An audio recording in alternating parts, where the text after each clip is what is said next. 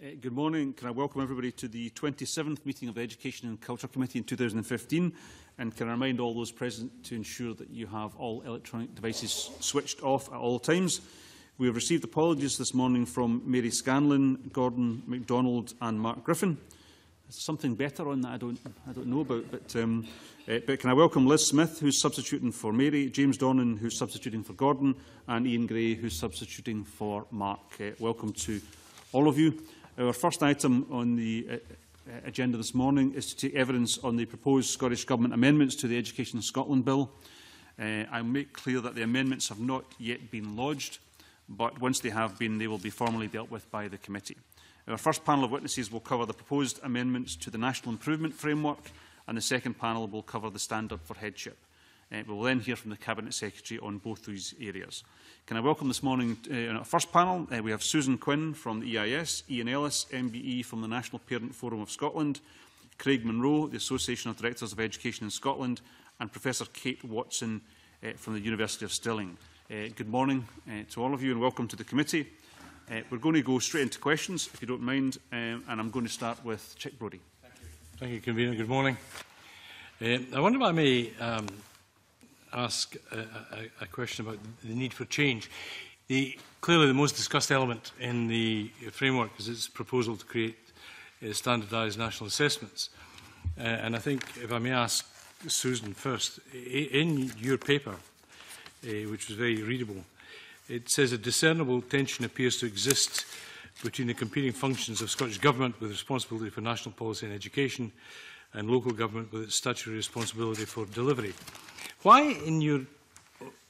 opinion, or is it your opinion, that you consider that a cultural shift in Scottish education is necessary?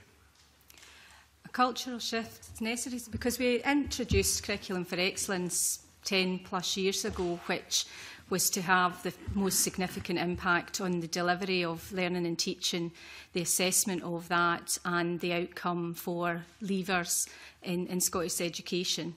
It provided for as a framework of principles and um, potential practices which should have had and which can have a significant impact on the way that education is um, served for the young people of Scotland. And we need to be in a position where now we're able to continue with that, to develop the areas that are needed to continue to be developed.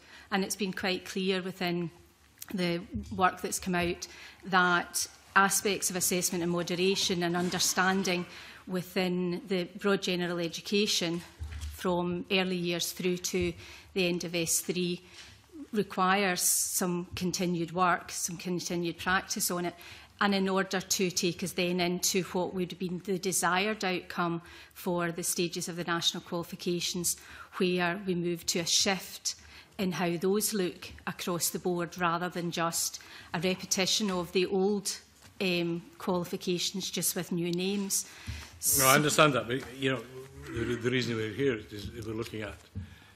Eh, some changes that need to, that we think need to be changed. And I just wonder what you think the reasons are for some of the anticipated benefits of the uh, framework, whether not already being delivered. Well, the benefits of the new framework clearly will be that national government will have a clearer oversight in their opinion of what is happening across the country. That perhaps is the one area of, of miss within the, the, the, the work of Curriculum for Excellence. It's um, obvious from the, the work that's gone on in the past that local authorities all have their own systems and understanding of how the broad general education, the national qualifications and improvement is taking place within their local areas. They have um, developed their own policies and practices around the principles of curriculum for excellence. They make use of a range of strategies um, taken into account a, a broad um, spectrum of assessment tools to support that, and they provide that information. Now, I can only assume that somewhere down the line, that information hasn't got to national level. I can't comment on why that would be, but I would have thought that the, the introduction of the improvement framework clearly is, as Education Scotland describes, about local improvement but national accountability. So, What are the discernible tensions between in that area? You've clearly elucidated. Where are the tensions, tangible tensions, that exist between Scottish Government and the local authorities? As an EIS, I, I, I couldn't honestly tell you. You need to discuss that with local authorities and, um, and national government. The EIS's position on it is that at local level, we've engaged with um, all, all aspects of this work. We support continued um, discussion around that, but clearly, um, in terms of what's there, national government must feel that they don't have the information and they require. I, as, as I representative of the EIS, I couldn't comment on why that would be. The issue for us around the proposals that are there are that some aspects of it then take us into realms that are, are a step too far. I think Craig wanted to answer. It might be appropriate for me to come in at this point, Susan. Um, just to go back to your original question, I think why now? Really, what's the what's the why this change? I think was where you started before right. you moved on with your supplementaries. Um, I have to say, from an ADIS point of view, I do uh, want to convey the view that we do believe it is the right time to have a national improvement framework. I'd like to give some reasons why I think it is the right thing to do in the right time, notwithstanding the issues that we have common ground on with EIS e that have already been reflected.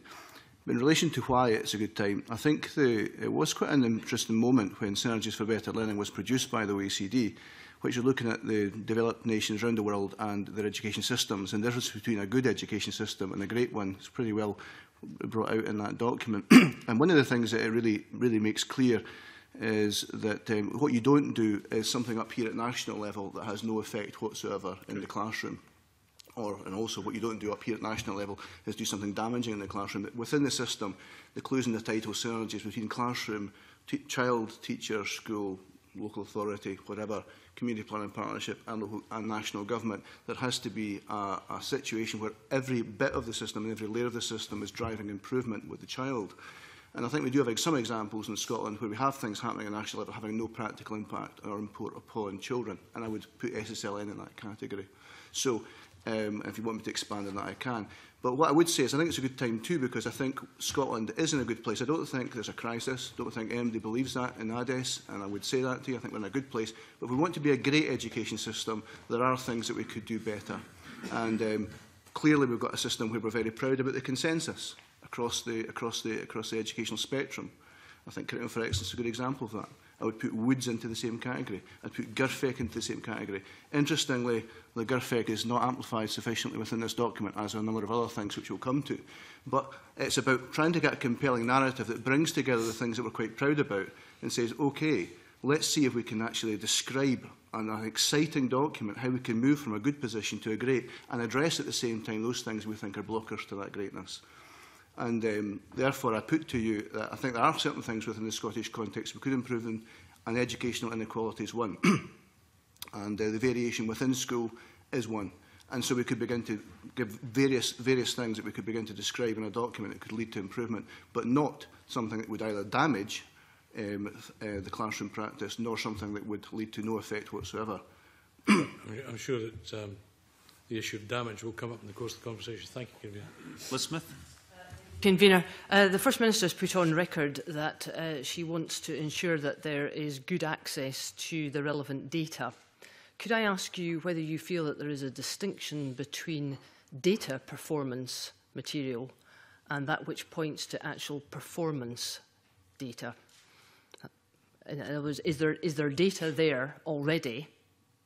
that can be used to do what is requested, or is there a subtle difference between that and actually a performance indicator when it comes to a national framework? I mean, Craig and I both attended the early stakeholders meeting before the summer holidays on the improvement framework. And what came out in the room that day was that there is a significant amount of data in the system from early years through to the end of the, the qualification stage that local authorities, as I said, use that data in a variety of different ways to um, support their schools and to, to provide information for the elected members at local levels. And we would, uh, within the Institute, would attest that there is enough data there. It's about how you then get that to work to, to, with, to the system, to the next step that's required in, in terms of national understanding. There is a raft of information that is already there in terms of um, teacher professional judgment and moderation exercises. There are a range of um, standardised assessments being used across the country to support um, young people within their classes and, and in terms of supporting local local decision making. There is a there is a wealth of information already there as I understand it. The difficulty is how you translate that to a national understanding of progress within the system. But is the argument not that if that data is already there and it's a rich seam of data, that there shouldn't really be a problem in terms of legislating for this? Is it not the case that there's something else that we can do to ensure that this uh, improvement can be made without uh, top-heavy legislation? I would suggest that in terms of legislating, it's whether or not the legislation is there to ensure that there's, there's consistency or otherwise. I don't know whether or not it's necessary to do so. But in terms of, of what's there, we would support any system which allowed us to look at what we already have and make good use of that information.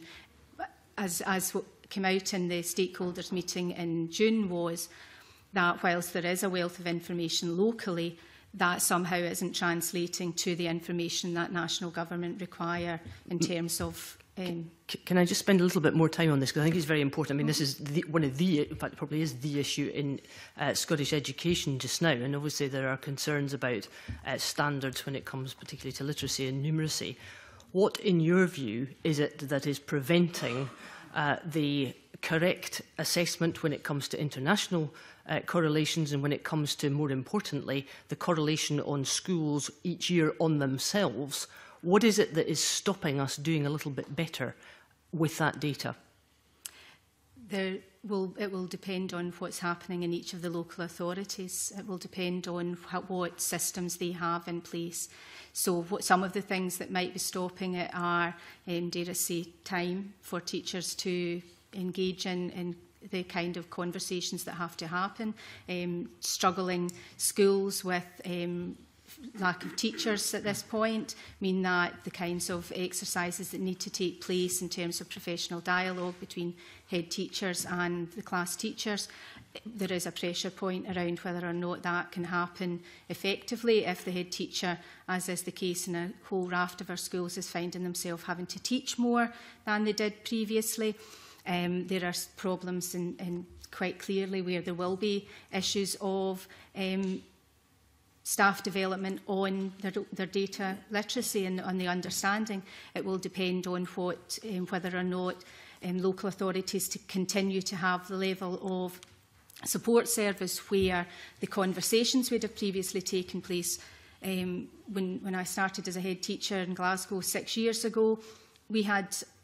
enough QIOs that we would have regular visits and they would have a conversation with me as head teacher about where we were going by the time I finished. Because of the cuts, we, had, we, we, didn't, we weren't having those conversations. So there will be a whole range of different things that will have an impact on whether or not um, those conversations can take place. But they're happening within schools to the, to the very best, where, there's, where the resources are there for it. Those are the conversations that make the difference the difference the primary one teacher being able to have time with the early years colleagues about where the young person is, is at when they're coming in. That requires a resource of time in order for people to be able to do it.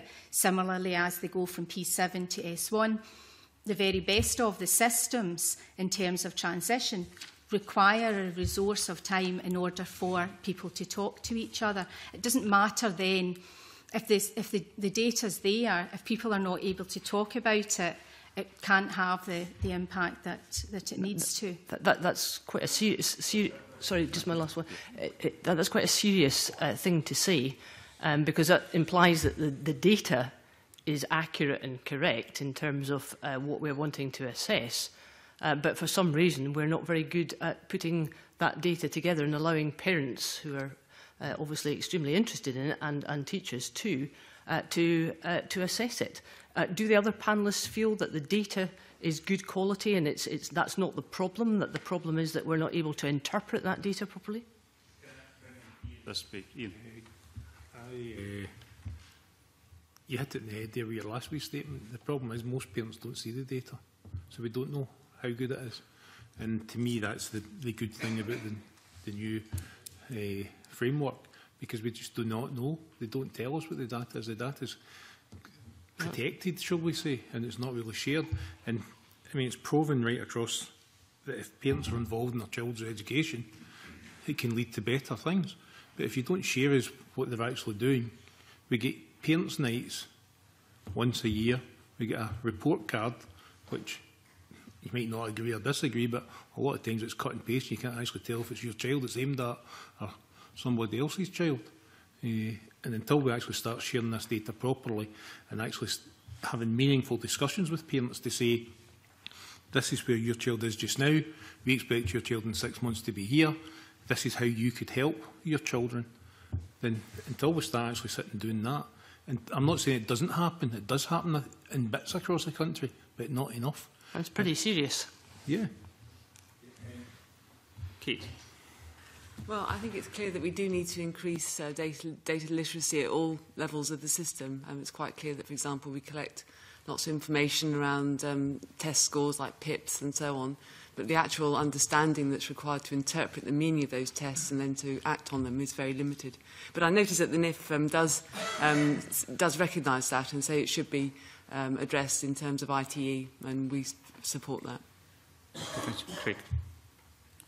go back, to, I think, our first question. Um, do we have the data? And I'll speak for my own authority. It was 14 years ago when we first started standardised assessments. And that was in the era of 5 to 14. We've got large longitudinal studies of information of children's development, and literacy and numeracy, as well as a range of judgments, of teachers' judgments to look at, as well as other forms of assessment instruments that are there. Um, how consistent that is across the 32 authorities is at the nub of this whole issue, and I think that is the reason why I think an improvement framework is required. In relation to though, um, can I, do I know as director whether literacy is improving in Fife? Yes, I do. Do I know if it's happening in a school? Yes, I do. Do I know if it's happening in a child? Yes, I do. Um, am I using, are we using that information in a, in a, as a consistent and an appropriate way as, as, as we would always like? No, I'm sure we could do more with it and do, improve. But I think you do have localised and actually excellent practice in classrooms and in schools and local authorities, and we need to be aware of that. We're not looking at a broken system. I would like to add one rider. I take Ian's challenge. I think Ian and I know each other very well, and I think we hear that challenge about how we could do better with parents.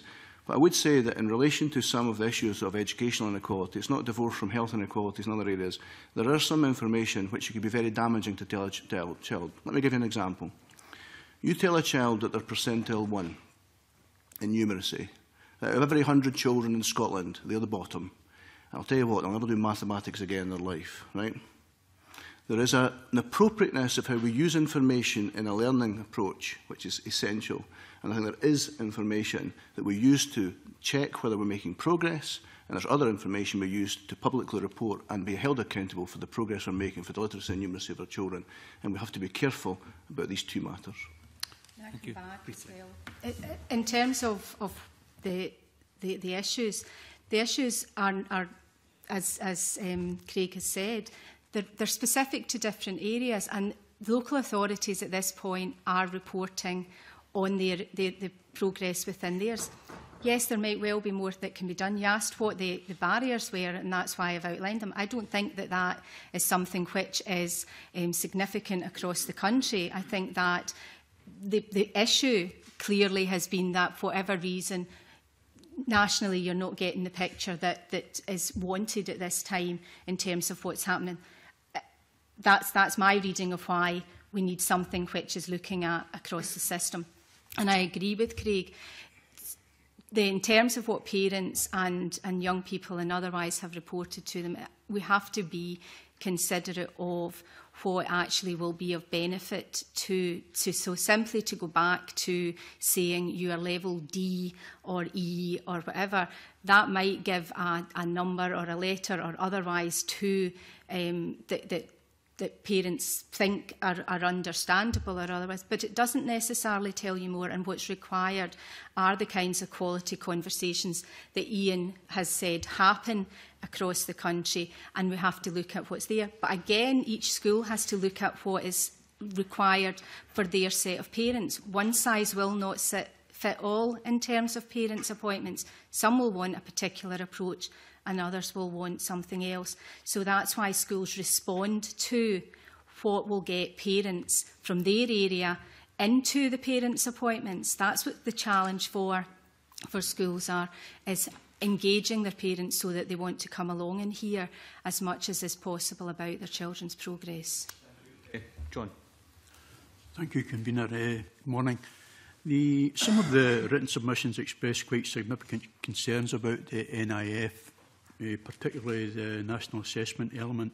Uh, for example, the union voice stated that we believe uh, classroom teacher support for learning teachers and school management can, pr can provide better evidence and support for pupils than national standardised assessments. Uh, Neil McKinnon, uh, in his submission, considers the draft NIF to be a top-down imposition framed in suppositions drawn from the most banal cliches of global education, corporate reform and EIS, while they acknowledge the, the value of Scottish Government's approach, they also consider the standardised assessments to be an act as a blunt instrument which will administer an unsophisticated political accountability process. Now, the flip side of that is that the Scottish Government have also had some support from ADS, Aber, Aber, Aberdeenshire Council and Celsus, and Celsus stated that placing the framework on a statutory footing is a necessary step. And it also added that we agree with the Scottish Government's analysis that limited data on the children's progress at key stages is restricting our capacity to deliver improvement. Now, taking into account uh, of what I've just said, could the panel perhaps advise or, or maybe express an opinion on how the national assessments could best be used to drive improvement for pupils and to inform teachers and schools' approaches to learning, or do the witnesses uh, consider that there are better uh, alternative approaches irrespective of whether and how the draft NIF is modified? Um, then I think the, the, the issue, the starting point from myself in terms of the, the issue of the standardised test is that when, NIF, when the draft NIF was, was published, it was a, a draft of a national improvement framework where the only specific within it was a national um, once a year for key P1, 4, 7 and S3 of a, of a standardised test. And that was the, and everything else was this is going to, to support teacher professional judgment and otherwise. And I think that's where it's, it's backwards around the, the, the, the parts that are there because as the EIS submission says, we are not uh, against the use of, uh, of standardised assessments, tests, whatever you want to call them, in terms of supporting young people's development. But we cannot see how you can move away from what avoid sorry, the issues that we've raised in terms of um, going back to target setting around tests that we moved away from a very, very short time ago. You know, virtually within this government's um, time, we moved away from gathering national data on tests because it was counter to the principles and practices of Curriculum for Excellence.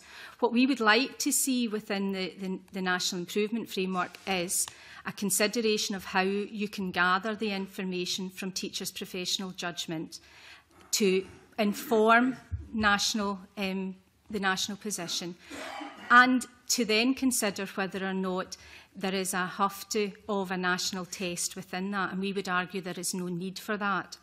We would argue that there is evidence within the system just now that local authorities are gathering their moderated evidence of achieving levels at the key stages that are identified within the paper, that some of them make use of standardised tests, but equally some of them don't in order to do so and that they are of equal standing in their ability to report on the progress of the young people within their local authority.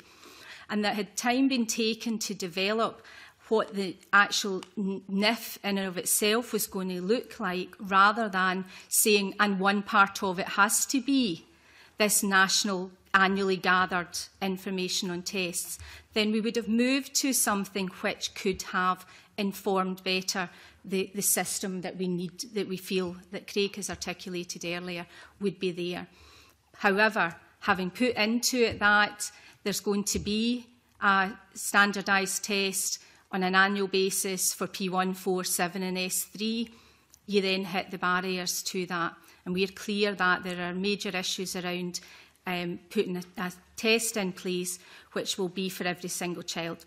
There are key educational arguments why it um, isn't going to be helpful to the young people. There are clearly young people who will be disadvantaged by the fact that you introduce a test of this nature and we would argue that it's counter to teacher professional judgment to say that you have to use a particular assessment tool to back up your assessment judgment we would argue that it's for local authorities to decide what their assessment policy is.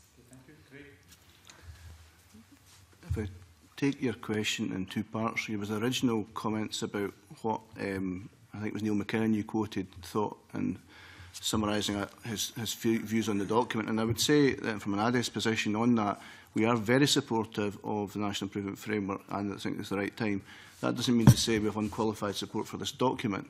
And I think there is a tone issue in the document. There is a compliance in it, and there's a culture of compliance. And I'm not sure if Ian's going to say something about that maybe later. But the, um, there is, that, is a, that is a feature of it, and I think there's a kind of system speech within it which we need to, we need to think. But in relation to the nub of your question about whether um, assessment information could be used to drive further improvement or not, I, I, I, I regard that to be in two parts. There is, what, there is the test itself, what you assess, and we should really assess what we value and we value literacy skills and numeracy skills of children.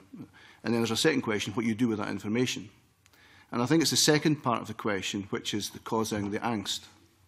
Um, not the testing so much, but what you use, you, how you use information to drive improvement at classroom level, at school level, at local authority level, at CPP level, and at national level.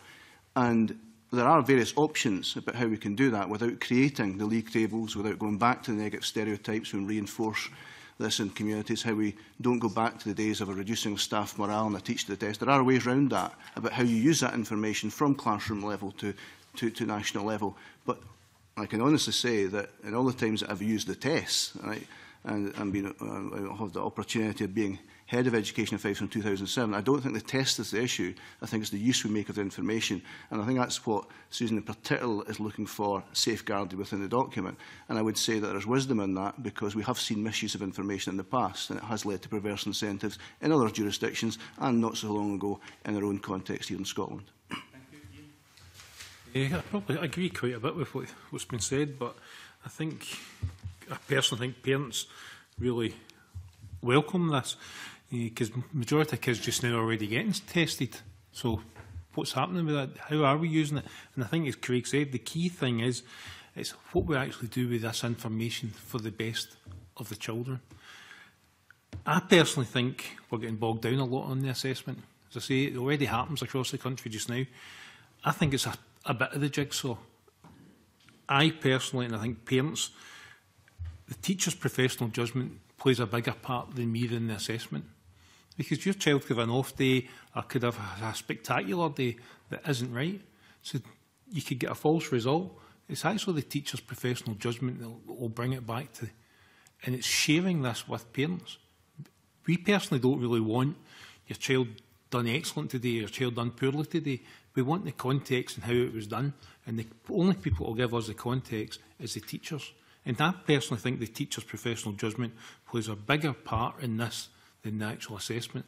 And I think I need to watch what I say here. I might say something you might not like, but it's a uh, the assessment to me is a small part, but, but we have got concerns in how it will be used nationally.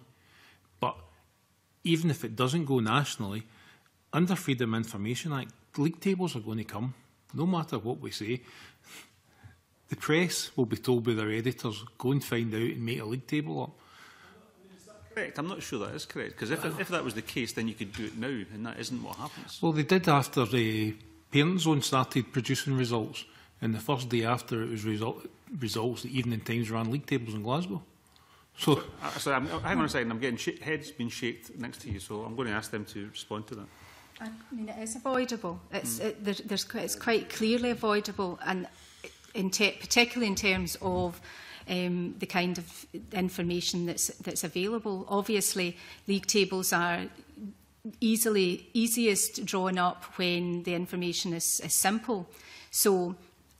if you have a once a year every single child in the country between a period of time doing a test, and I use the term test carefully because I don't want to, us to forget that assessment is more than a single test and is more than testing of any kind. Mm -hmm. um, that it's easy then to do an FOI and get how many young people got that information. If you're looking at putting that into not happening at a single point in time, not every single child, at the professional judgment of the school or the local authority, then it's, it's, it's a, a much more challenging thing for them to do.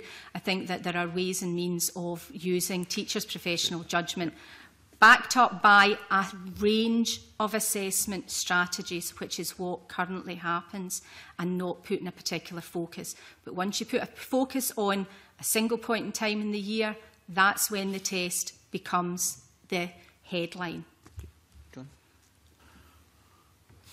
Okay. there's at least six ways that you could do it that would not allow it to be leading to a league table. But the danger is the document doesn't make it clear as it stands. And that's the problem. We're all reading the document, and if it had made it very clear how it would do that, I think there'd be a lot less, a lot calmer at this end of the table. You could have, currently we have a sample mechanism through SSLN, It's such a small sample that very few teachers in the country are aware of it.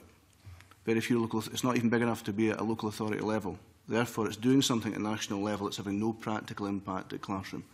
You could increase that sample to be very significant, very significant, to be including right down to school level data and also local authority data, so it would actually be useful, a useful tool.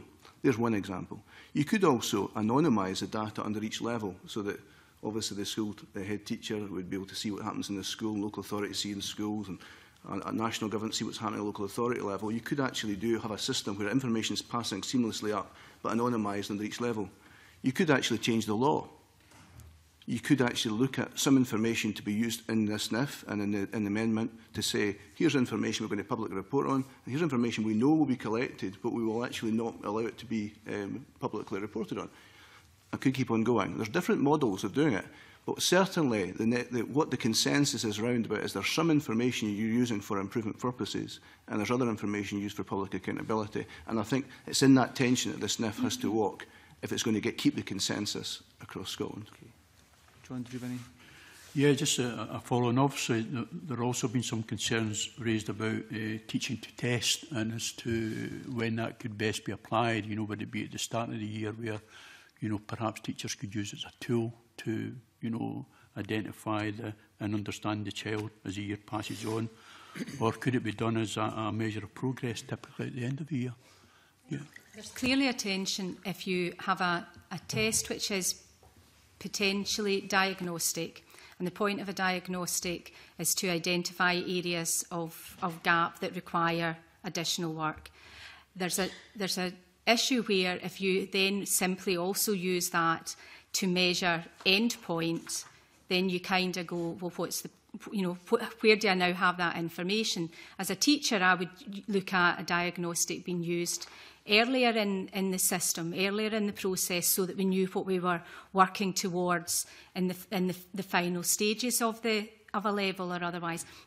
Which is why the EIS position is that we argue that any addition of an assessment test to, um, to this framework should be at the professional judgment of the school or the local authority because you would use it in different ways. So similarly, why would you need to test a young person that a teacher's professional judgment knows that they have achieved a level? Why, do, why when you, if, you, if, I, if as a class teacher I have a, a raft of evidence that shows that through the three years of, that, of, of the first level, that they, have a, they are achieving it in all of the breadth and the understanding and the, the use of it in, in wider contexts. Why do I need to test them on that? Doesn't tell me anything more than I already have. But there are young people who perhaps I might be scratching my head going, I wonder what it is are needing. We use a range of assessments to back that up already within the system.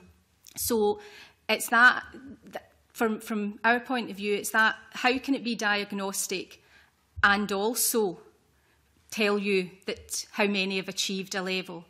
And there is a real danger within it in terms of it becoming that's what tells you they have achieved a level because some of the evidence, and particularly in the work that we've been doing, is in terms of um, writing, you can really only pretty much standardise spelling. You can't stand, you can't, there is no systems for um, standardising the uh, assessment of an ex uh, extended piece of writing in, through, a, through an online test. So you're then making a judgment on um, progress based on spelling, which isn't necessarily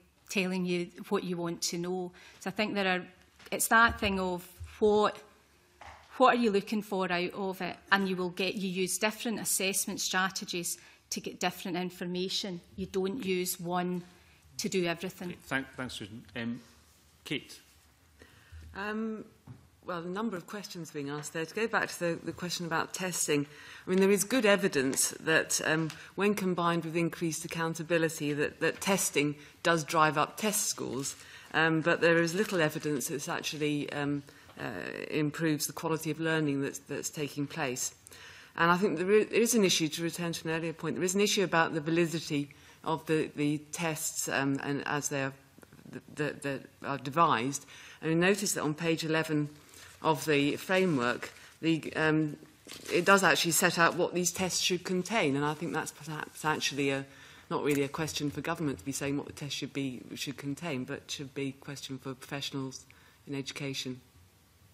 Okay, thank you.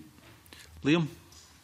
Thank you. Yeah, I mean, that, that's helpful. I think, Professor Watson, in your, in your evidence, you, you suggest that um, there, there's no articulation of the implied issues that are being uh, addressed. But whether or not we accept there's a problem to be addressed, I think Craig Monroe's suggestion that we should always be looking to, to drive up uh, improvement um, is there. And I think um, in that sense, there's probably unanimity around the, the table. But um, putting things into legislation is, as, as, as you said, um, Susan, a, a, a blunt instrument.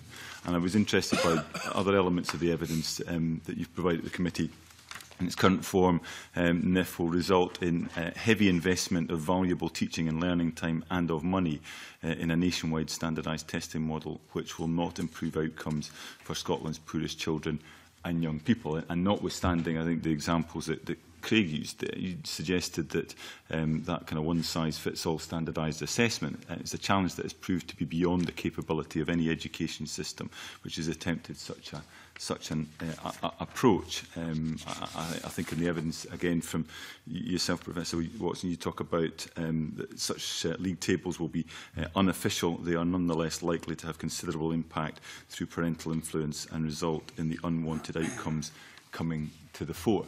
So I mean, we all, there seems to be agreement on what we don't want to happen. I, I think by putting something into legislation, uh, we need to be um, pretty clear um, that avoiding that happening uh, is something that we can uh, achieve.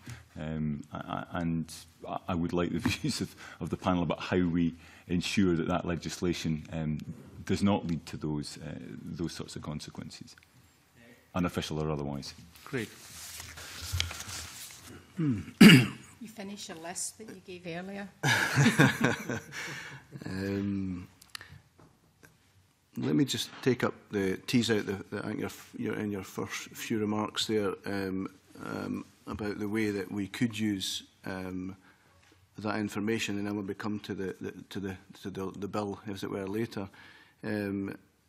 I, I, I genuinely believe that most of the discussion here has been about standardised tests and um, and the, the, they are a very small and limited aspect of, of assessment, and they only measure certain things. I do believe in them, and I have done for most of my life, but that doesn't mean to say I think, and I do agree with what Susan said, you know, a wider range. But the things that they do measure, they measure quite well, but they've got to be quite well defined. And we have to understand, so, you know, If I go back to my own, my own, my own situation, about eight years ago, we started to look at the teaching of phonics and the teaching of letter recognition, some aspects of fractions. These are the kind of things that actually those, those particular tests can actually do very, very well and actually get very useful information out. But that wide range, and Susan began to exemplify in the area of writing, for example, where you can't, and you're looking at a broader range of things in teacher's judgment. So the conversation then becomes, well, what do you do with that information that you have? and use it to drive improvement. And, I'd, and at that point, I have no problems with the concept of teaching to the test, if it's teaching to the way of phonics. But I do have a problem with teaching to the test and the general idea, where you put down in front of a, a youngster and say, that's basically the course there, and that's what you're going to do. It's a very limiting feature. Okay?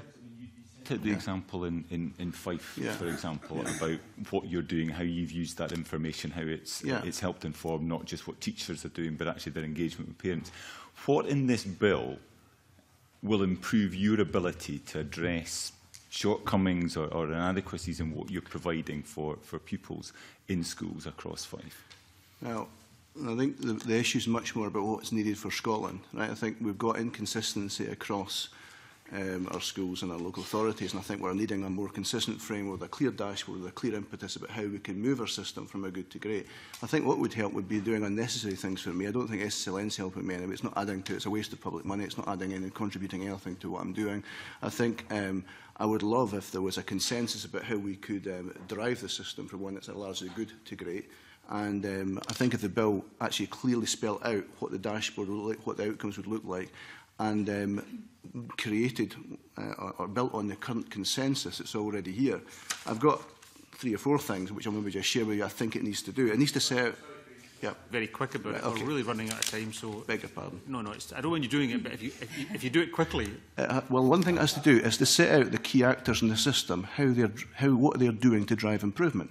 The Synergy for Better Learning document made it very clear it's from classroom to school to local authority to CPP. To, and so all the key actors in the system, what's their role to drive improvement? Here's an opportunity for a document to set it explicitly, clearly what the role is in terms of how they drive improvement within the system and how we can have a more equitable Scotland moving forward, because clearly the issue of educational inequality is one of the key drivers within the system. In, in terms of how you avoid, uh, uh, avoid unintended consequences, well, these are not can they be described as unintended consequences when they've been identified mm. now from the outset?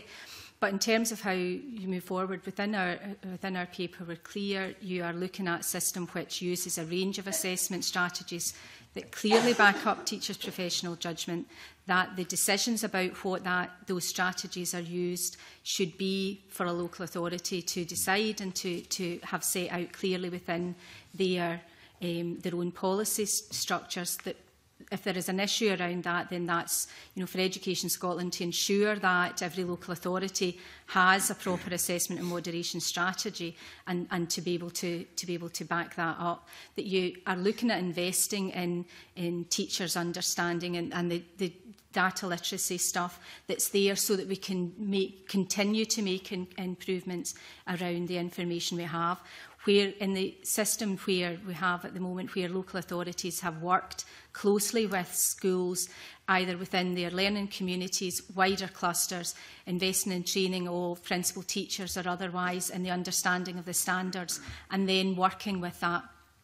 We have seen improvement, great improvements within the, the understanding of the standards and therefore what's expected within, within the classrooms of Scotland. But in terms of how you're, you're going to make a difference to um, to, the, to the young people, you then have to translate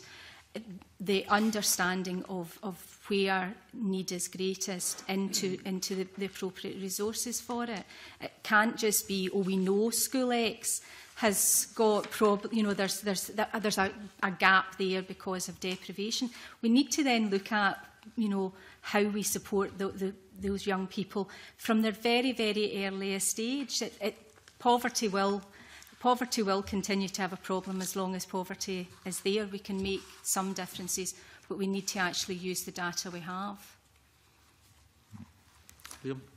Yeah, I mean, I, I just, I'm interested that we've been developing this framework for some time. I mean, Craig's uh, enunciated some examples that would prevent a teaching to the test and, and league tables and all the rest of it.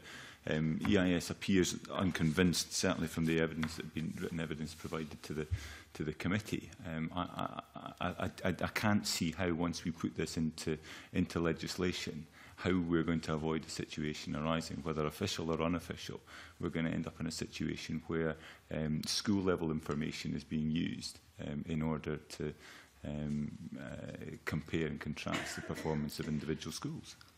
But this should already be in the system at local authority level school level system. It's the, the, the, our concern is about a single point in the year test which then becomes a driver of targets because that because it's simple because it's a simple number and that then is right if you get your test score you know so it's about from our point of view there there is enough data in the system just now to identify where schools are at and how well they're doing. Local authorities do that, as Craig says, in a range of different ways.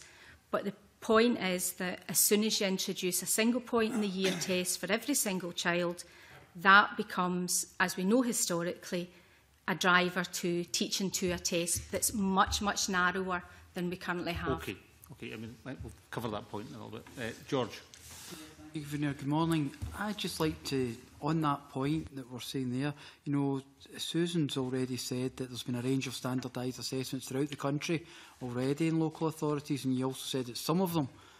uh, uh, use standardised testing, you said.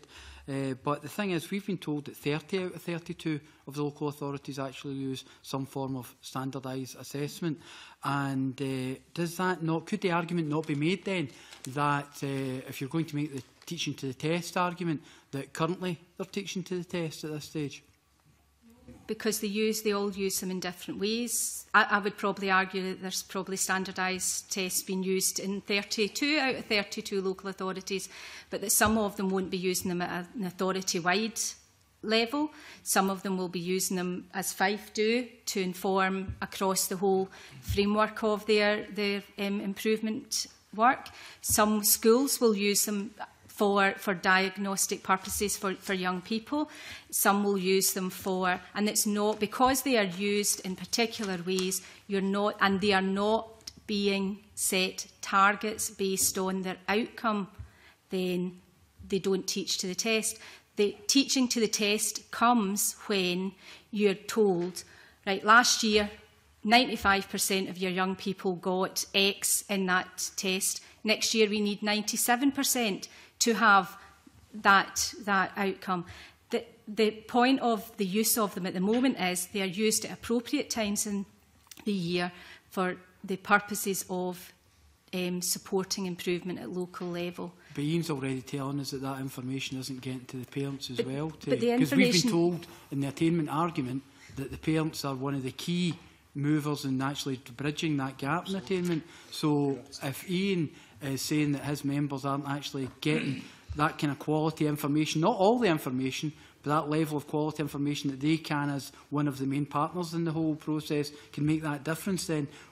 Where are we going wrong here? I would argue that parents don't need to know the details of every single test. I never said every single test. Or, or, things that are there. Well, again, what and then it's about looking at what information parents do want and do need. What parents, in my experience, want is they want to know how well their young person is, is doing and what they need to do next to continue to improve. Are they happy in school? Are they doing well in school? Are they behaving in school? So we need to uh, assess what, and I think these are two separate issues. Introducing a, a national standardised test won't necessarily provide us with anything more or anything different to what the parents are, parents are looking for and what they're getting. It's then about the conversations. Even if you have these going on, if all you do is sit down once a year, as Ian says, and say, oh, they got nine out of ten and whatever, that's still not providing quality information for parents. So there are separate arguments around this. And Can I, can I ask, uh, one of the things that Craig mentioned earlier on was how you use that information is the important thing. Now, for me, how you use the information would be in such a way, and the idea of the National uh, Improvement Framework is to identify where resource needs to be to identify, because we get accused that the Scottish Index Multiple Deprivation is a blunt instrument uh, in using as a way to get resource in. So would it not be a case that with the attainment advisors that are in the local authorities as well, we would be able to actually see where actual uh, we could actually get resource into where we need it and would the framework not help in that scenario and also help with parents and giving them the opportunity to know how things are working in their local area who would like to answer that? It's probably more directed at Craig. Craig. Mm. um, okay. Um, I think the framework needs to be clear on what the role is of all the key actors in the system, and that includes parents. And I think just now it's not that's not that is not there, including Education Scotland, including local authorities. And I think it would I think the issue of resource would come into it there because the whole teaching resource would have to come into it. And I think that's what we're really saying. The document itself needs to move on in order for us to have this for this discussion. In relation to where that connects with that question, which was you said uh, in relation to the question about um, the use of uh, this, the, the standardised data. The whole focus of this discussion has been about one little bit of this, and it's become the thing. And, uh, and this is perhaps, perhaps the danger of it all. But I would say I really do believe um, that um, it's how you convey that information to a parent, which is the critical thing. And um, all of us just now have a service level agreement with our provider, and they can't, won't give us a service if we put all of that information out. And there's very good reasons why you wouldn't do it. But I do accept, and I accept the challenge, I think we could do an awful lot more to involve parents, not just about receiving information, but actually engaged in a learning process, which I think is the part, and harnessing the talent that their parents and carers have for our young folks. And I think that therein lies our biggest challenge about how we do it. And actually, I want this framework to describe that, and describe how we can move from a good system to what the most effective systems in the world look like. But I think it's become so dominated by one single strand, which is standardised assessment, we can't get away from it. And um, personally just now, I, I, I, I don't feel the, a, problem because I have that data as a, as a director. And I can, I can compare schools and compare classes and we can use it for improvement purposes. But I know that's not nationally available. And I think what we're pleading for is some form of a consistent framework that we can all sign up to across the country, which might be legislative light, to go back to the original question. Okay. Um, Colin, please. Thank you, Convener. Um, I'd like to look a little bit look a little bit more about the role of the Scottish Government. Um, if local government has statutory responsibility for delivery and the Scottish Government has a responsibility for national policy, does NIF actually change any of the levels of accountability in that mix?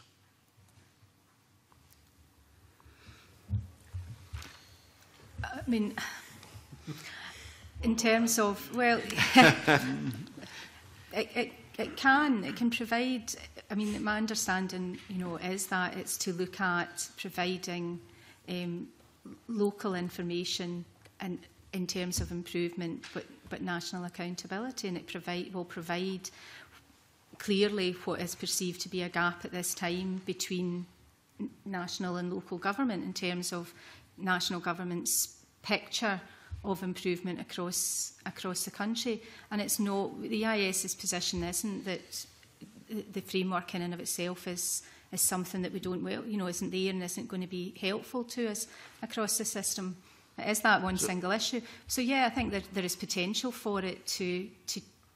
to provide you at national level with something more than you currently have. Just to make sure I've got that correct, you believe that by national government collecting more information, that potentially changes the accountability in itself?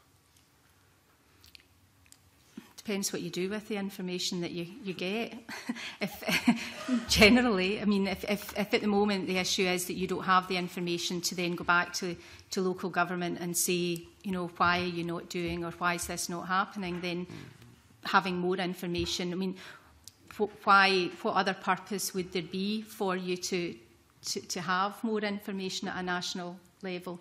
Local, local authorities at the moment have information in a wide range of forms about the improvement process within their local area. Um, they make use of that and as I said earlier if there are issues with that then you know that that can be addressed through Education Scotland's processes or otherwise areas like Fife have very clear systems. So Obviously, there's two major tensions. One's been spoken about a lot today, this issue about the use you make of data and the purpose you actually collect information. The second one's the one that's been drawn on to the tension between uh, who is accountable, is it national or local government? And I think um, I think it would be very helpful in the next redraft of the NIF if that made it explicitly clear um, What I would say is that the current Act makes it clear that the local authority is responsible for the educational outcomes of its young people, and that's the Standard Schools Act 2000. I think it's a very clear document. But I think the Synergies for Better Learning document, which is produced by the OECD, is really saying in the best systems in the world, there's a greater movement of information from classroom to school to local authority to CPP to national government, and actually a more joined up synergy between them all. And actually, that's what I think we're pleading for We're pleading because we think there is some dislocation and there are things happening in one bit of the system that's having no impact on the other. I've given a couple of examples of that and other examples where information is not being passed so that Everybody should be able to each level of the system, whether it's a child, is literacy improving, whether it's school, is literacy improving, at local authorities, literacy improving, at national level. And I don't think that actually can be done sometimes at certain parts of, particularly the broad general education uh, area of, of a child's development. So I would hope that that could be addressed within the next iteration of the NIF.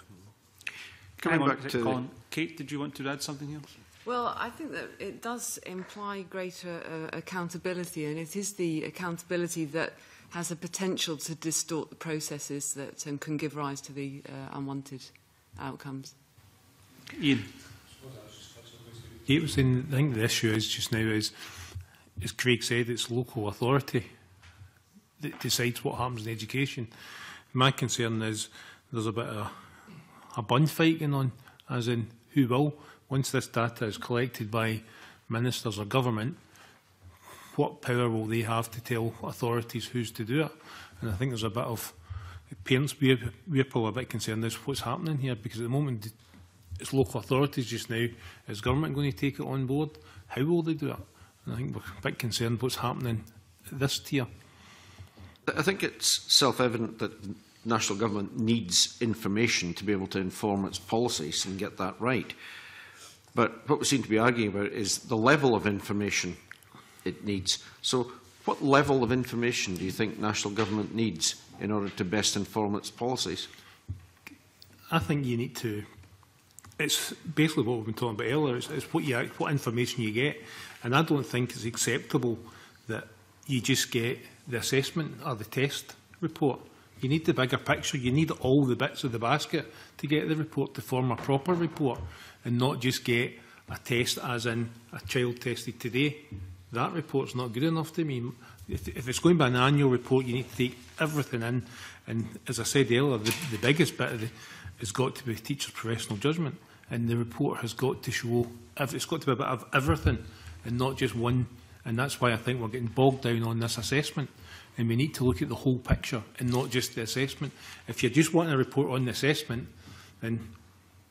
my personal view is we're kidding ourselves on because we're not going to get the true actual picture of what's actually happening at ground level. And as Craig says, our education system is a very good education system. Let's make it the best. And the way to make it the best is to use every driver in this NIF and report on the whole picture and not just one individual bit of the NIF. I'll bring in a second, Craig, but I want to bring Liz in and then I'll bring you in straight after Liz. Just one question. I mean, the, the whole issue here is surely uh, what we all want is to drive up standards. And I hear what you say, Mr Ellis, that there are lots of very good things about Scottish education, but we wouldn't be having this debate if we weren't doing not particularly well in some aspects of literacy and numeracy. Parents naturally want that improved, so do all of us the confusion and the, perhaps the frustration is that as, as yet we don't seem to be finding a way through the data, which you all argue we have, that allows us actually to drive up standards. Is that not the key problem? Uh, I think part of the problem as well is how, it's how we use the, the data just now. I mean, the literacy numbers, they one, down 2%, but what's 2%? Oh. Ah. enough to worry everybody. But is it? If you actually if you look at the actual, what are the actual figures though we're actually talking about? I mean, 2% could be two kids, 2% could be 2,000 kids. We're not.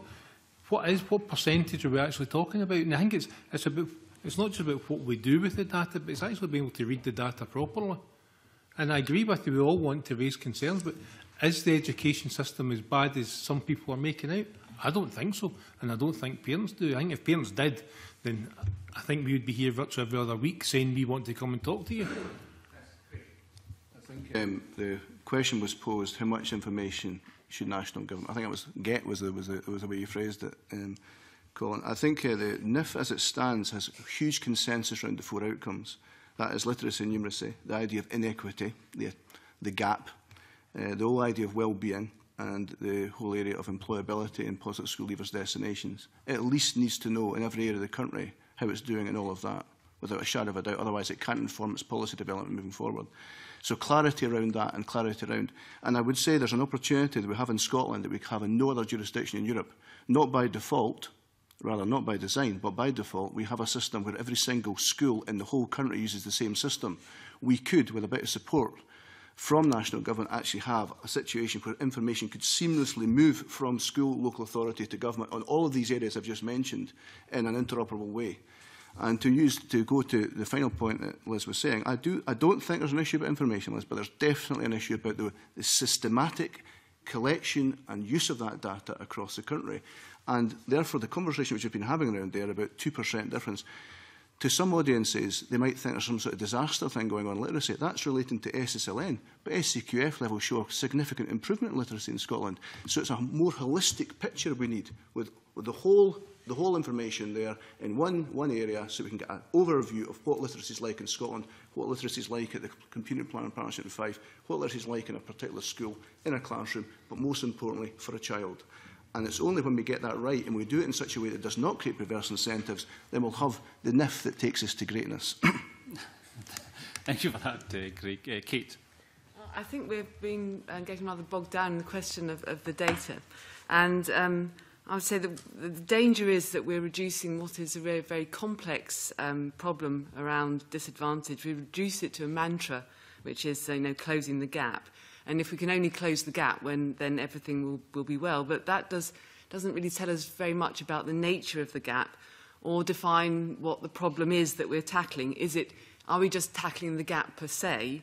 Um, are we tackling the consequences of the gap? Are we tackling the causes of the, of the gap?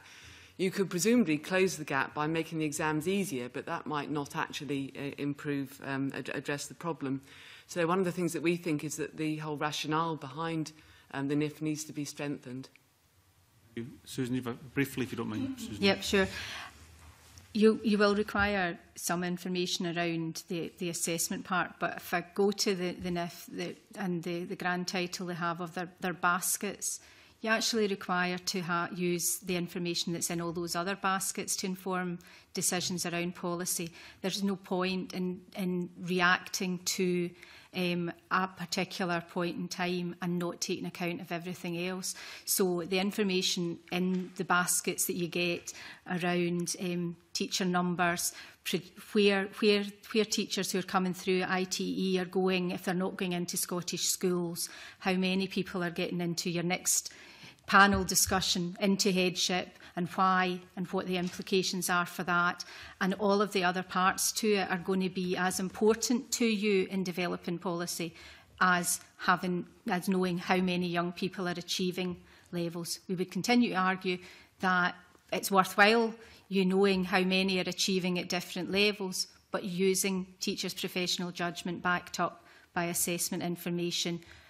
that is of a, a quality rather than just a single point in time.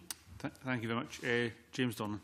Thank you, Convener. Uh, in written submission on the uh, NIF amendments, uh, EIS said that they would have significant concerns if these placed additional bureaucratic workload burdens on head teachers, teachers and schools. Uh, are you happy that you'd be able to drive these improvements with, for learners without imposing an unfair burden on teachers? And given that 30 out of 32 already do standardised testing, where is this uh, increased burden? The increased burden will happen if you cannot stop the current assessments tests happening. And the, the argument around this is how would, you know, the, the document says um, the 30 out of 32 would stop using what they're, they're using and reduce this new test. There's no, there's no way to guarantee that that's, that that's the case if Craig's, if, if what comes forward isn't something that meets the high level that Craig currently has, he would have to consider whether or not he still needed to supplement with what he, with what he had. The argument is around, isn't around whether or not it, the, these, the assessment tests should be developed and used in, in, in schools to replace what's there, but indeed how they are used and when they are used and who decides when they're used, and who decides who they're used with. The other issue is that unless you are looking at the wider sense of assessment, then the assessment burdens will, will, continue, will continue to rise. So again, it depends, although 30 out of 32 currently um, say they're, they're, they're using them, again, it's how are they currently using them and what will be the, the differences that are there. So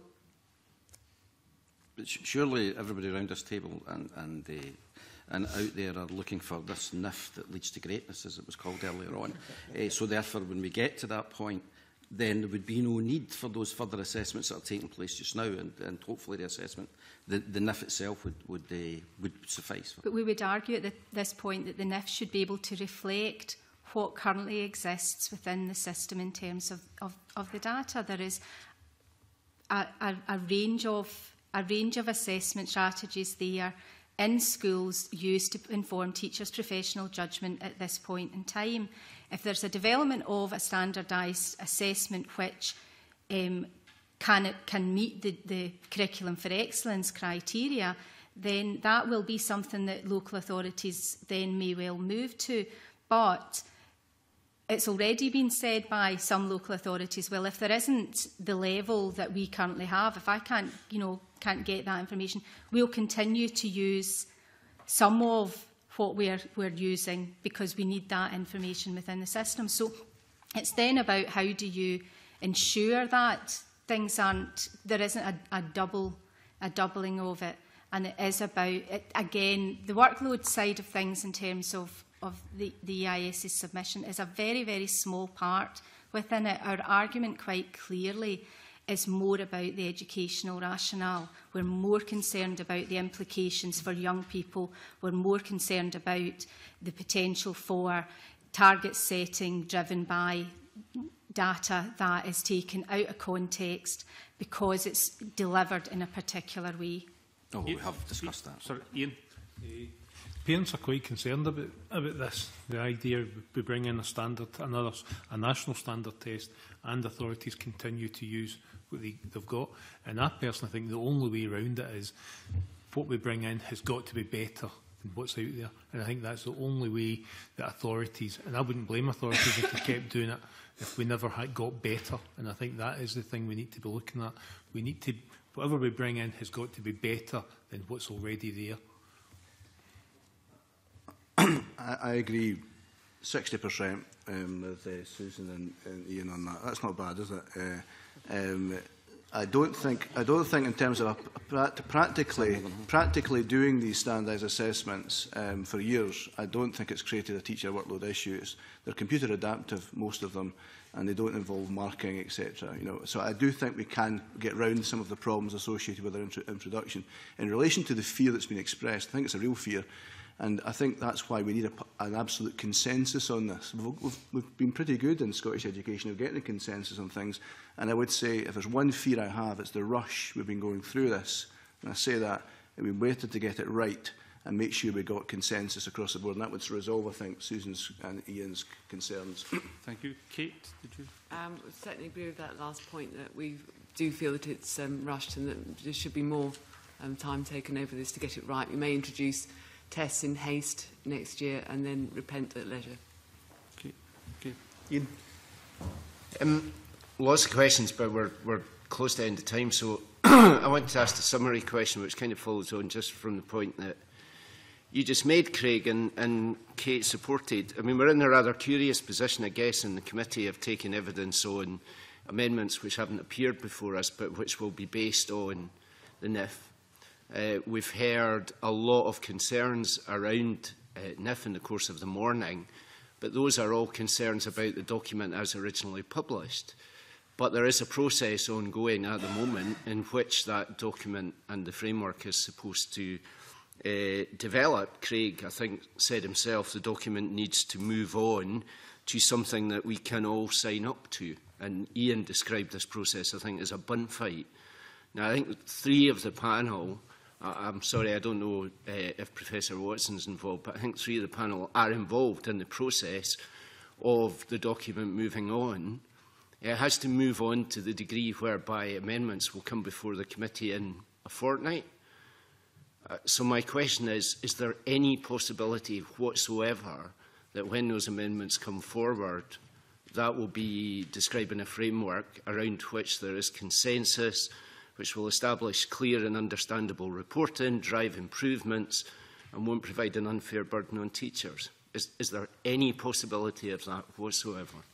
From the IS's point of view, if it does, is a framework which doesn't insist on a standardised test being administered in every single school to every single young person um, at a single point in time during the course of each year, at which is then reported in terms of figures nationally, then we would be able to look at a framework that might well take us forward in education. That is our key issue around this, is the, is the and that's the unfortunate thing about, and we've, we've discussed that this morning, the, the vast majority of the conversation at this time around the development of the NIF has been that one area of an introduction of a national standardised test, and that's that, that is the thing that um, has got teachers wakening up to their political considerations around this because um, it, it's one it's the single area of major concern for them and this is teachers who are using standardized tests to inform their professional judgment in other ways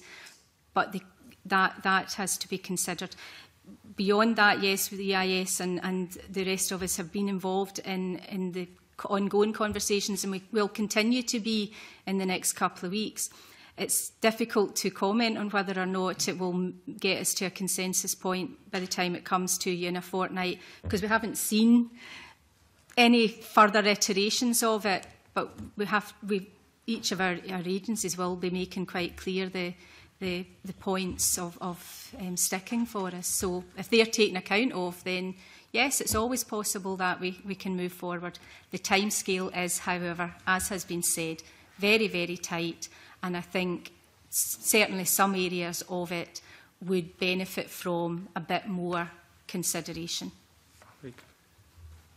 We're obviously working very closely with the Scottish Government, all of us, and uh, and I have to say there's a definite feeling there's a willingness to get it right.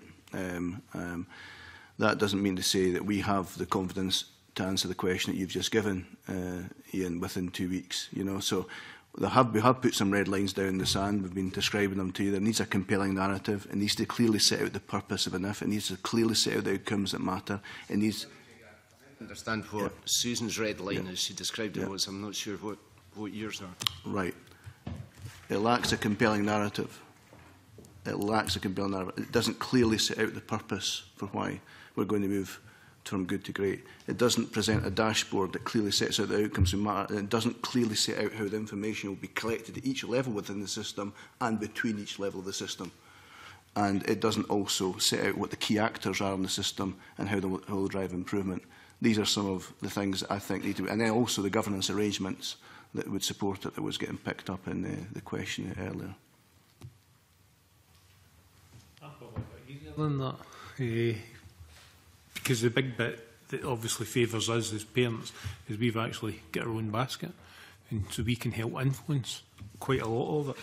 Uh, I think I uh, agree with Craig. Uh, we had an interesting meeting yesterday. I think it's moving in the right direction. I don't think it's there yet. I don't think any of us would say it's there yet. Uh, and we're waiting to see the next draft. The first draft certainly wasn't right to actually say parents will do we'll do this, we'll do that. what happens if they don't do it? Which was, it made us all have a chuckle when we read that. So we're interested to see where it's going, but I think it is moving. I think the, the key factor for parents is it's got to be for the benefit of children. And as we've had the discussion this morning, I think if it does all come together, hopefully the way we, we think it should come together, then I think there will be two weeks. Might be a bit tight, I think just, for absolute accuracy, it's three weeks. Sorry, sorry, three weeks. Still a wee bit tight then. Yes, no, I accept that.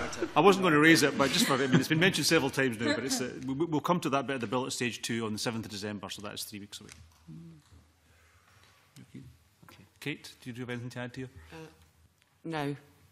That is to say, in answer to the question, no. So, so no, nothing to add. Your answer to my question is no. Thank you. Okay, um, thank you very much. Um, we are very pushed for time this morning, so can I thank you all for coming along um, and answering questions on the National Improvement Framework, and I'm going to suspend briefly.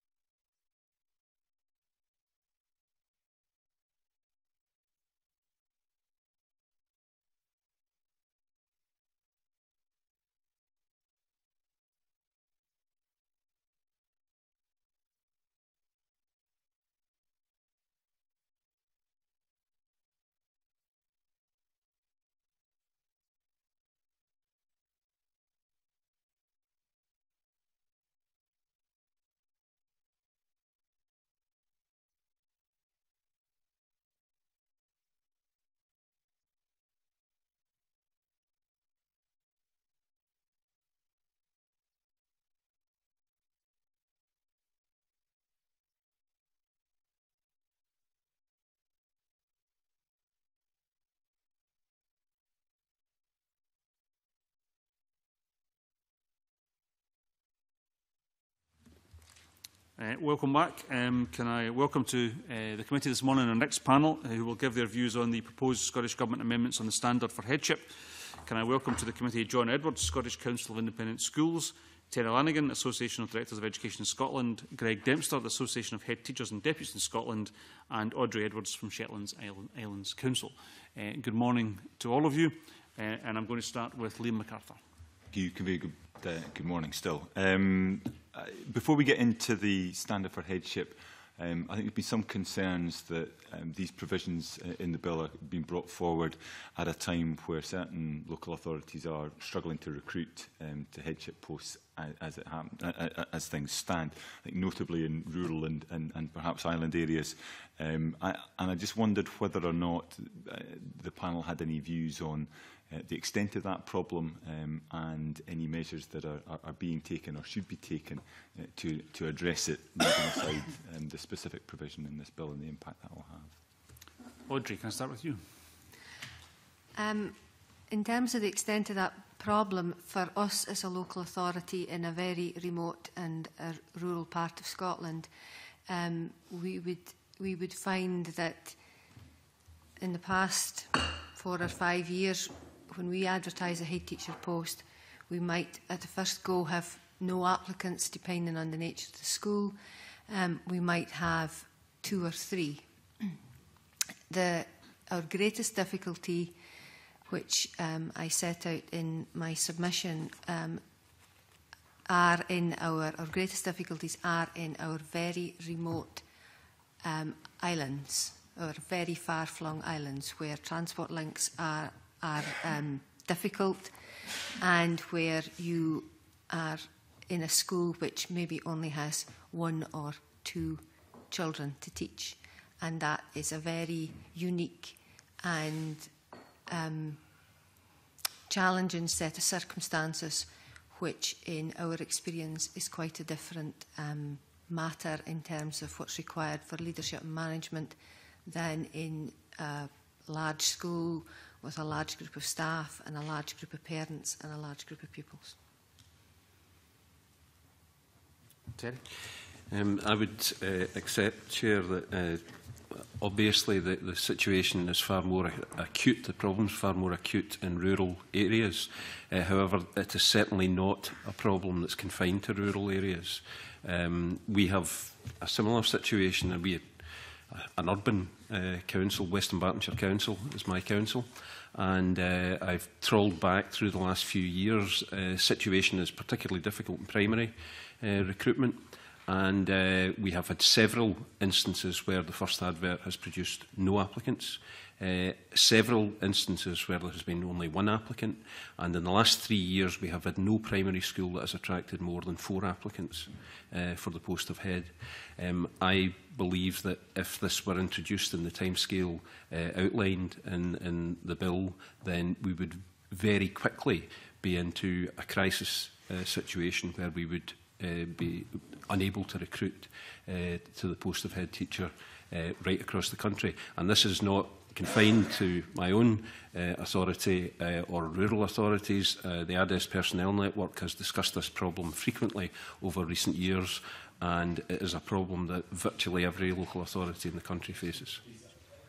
You've, you've um, sort of I, I, I removed some of the distinction between maybe urban and, and, and rural um, council areas. It's been suggested that the, the national picture is less clear, the statistics underlying that.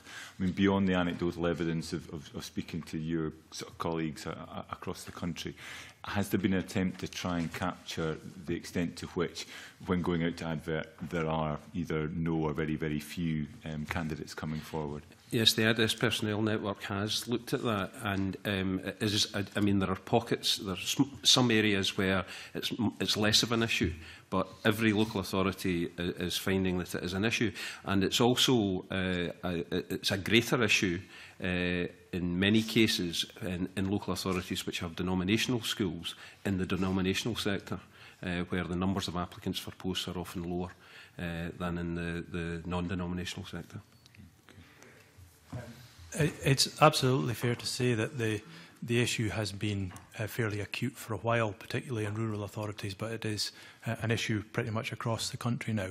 As an association, we did try to gather data um, at three yearly intervals about the number of um, applications for headships, the number of re-advertisements, but that information was becoming harder and harder to get because local authorities were not holding that information, some of them for, for more than six months. Um, so we haven't we haven't um, gathered that information for probably about three or four years now, but over the period that we did do it, it showed um, a significant downward trend in the number of applications and an increase in the number of re-adverts. Um, and what I'm hearing um, um, from around the country is that um, they there are authorities, I think there was an example from Highland not so long ago where every head teacher post that was advertised was then re-advertised. Um, so it, it's quite a significant issue and has been long-standing. And, and, and your conclusion, presumably from that, is, is the same as Terry's, that the introduction of the, the, the provisions as they stand in this bill are certainly not going to make anything uh, easier and potentially are going to make it more difficult, a difficult, difficult situation even more difficult in those areas if they are introduced in the way simply introducing a qualification is not going to increase your supply of candidates. Absolutely, I agree. Okay. John? Yeah, I mean, obviously we're in a, a slightly different case, but um, all the recruitment that's happened in our sector in the last three years, uh, out of about 18, 20 posts, six of them have come from outside of Scotland, and all of them have come from other independent schools. And so there isn't a recruitment issue as such, But that's because schools and their governing boards have to go literally globally to search for the appropriate candidates. So there's no sense in which this would make um, would be any improvement to the situation because obviously if you're looking for the best candidate for a particular type of school or particular type of curriculum, then the last thing you're going to be considering is applicability of a particular qualification here. Okay. Ian? Um, I, if we could set aside the, the standard for headship just for a moment, given that the, the evidence you've given is that there is already a recruitment problem. So my question is, what should be done? What should the Scottish Government do? What should local authorities do differently to try and address that? Terry? Um, I think a number of uh, local authorities uh, are are, are trying to address the, uh, the question by uh, their own leadership, uh, developing their own leadership programme, their own talent spotting programme. Um, I, I think that there, there are a number of issues with uh, the recruitment of head teachers, especially in, in, uh, in the primary sector. Um, I definitely think that there is a perception that the job uh, is almost too difficult, um, that, uh, the, the, the, the, and certainly that it is far more difficult and far more challenging and far more lonely than the job of a deputy in a, in a primary school for sometimes very little additional reward. Um, so I, I, I think that there are differential issues in terms of the pay scales which are, are causing issues here. If you're a deputy in a medium-sized school, uh, then moving to, a to become a head in a small school might not involve any increase uh, in salary, but the level of uh, responsibility that you're taking on is very significant. So I think that there's a national issue there. Um, locally, uh, I think uh, local authorities are doing their best to try to promote uh, the post, to promote, uh, to, to, to indicate the sort of support that head teachers would get. Uh, but at the moment, I have to say that is having limited impact, and I don't think it can be sorted in three years, in, in a three-year period. Greg? Um, uh, The answer to that question is sometimes put as um, school leaders need to talk up the role more. Um, but the reality is that your potential candidates for headship are all sitting within schools as well, and, and I'm speaking from a primary context mainly. Um, they, they're watching the, the sitting candidates, the, the existing head teachers, who are um, grappling with increasing workloads, increasing responsibilities, Um, and then they, they're seeing very little financial incentive to go on to take that role. So what needs to be done about it? Well, um, there's an immediate problem which you, you, as a committee have looked at already in, in other uh, discussions, which is around about availability of teachers and supply teachers. Um, school leaders in primary schools are finding themselves teaching an awful lot of the time. There was a, a summit in Aberdeen recently about lack of supply of, of class teachers, and um, the representative from Aberdeen City Council explained that all of his um, head teachers in city schools, so reasonably large schools, were spending an increasingly large amount of time teaching class. So there's, there's the, the workload issues. So a, a review of um, the expectations of school leaders within primary needs to be looked at. Um, there's an issue around about um, the bureaucracy um, that, that would, would come into that. Um, the biggest thing that I hear about being um, a, a um, absorber of, of head teacher time at the moment is the named person duties and, and GERFEC. Um, so a look at the bureaucracy that's associated with that, I think, would be um, very useful.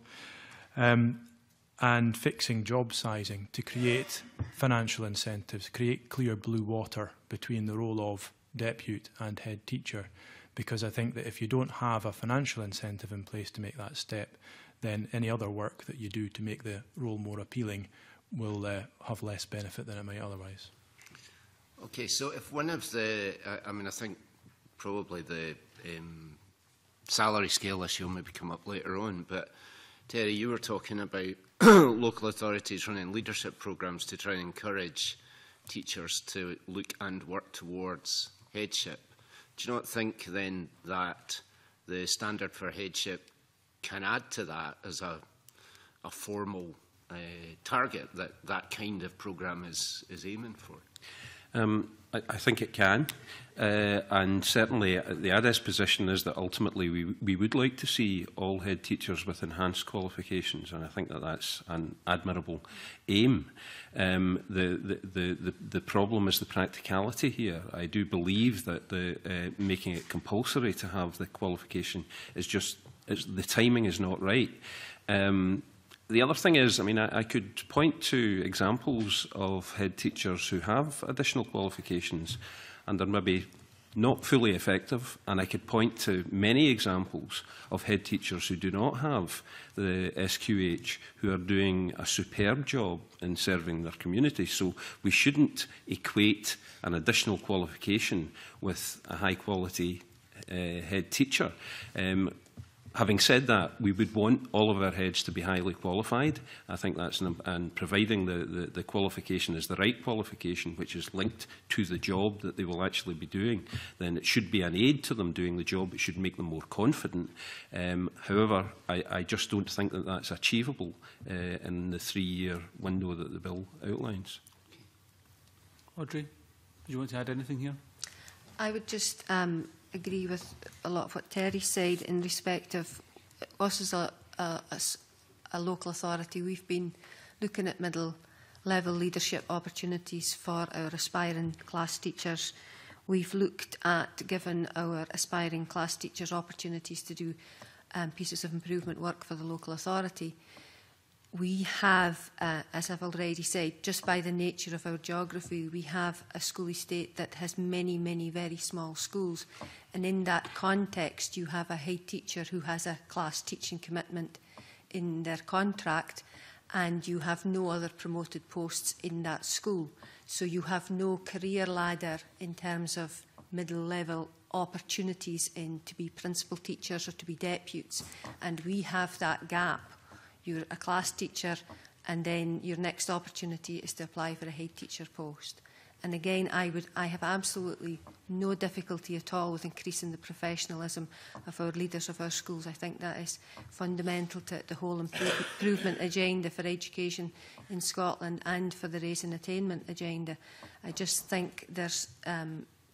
there is um, differences, there's diversity in there that um, a one-size-fits-all qualification does not meet.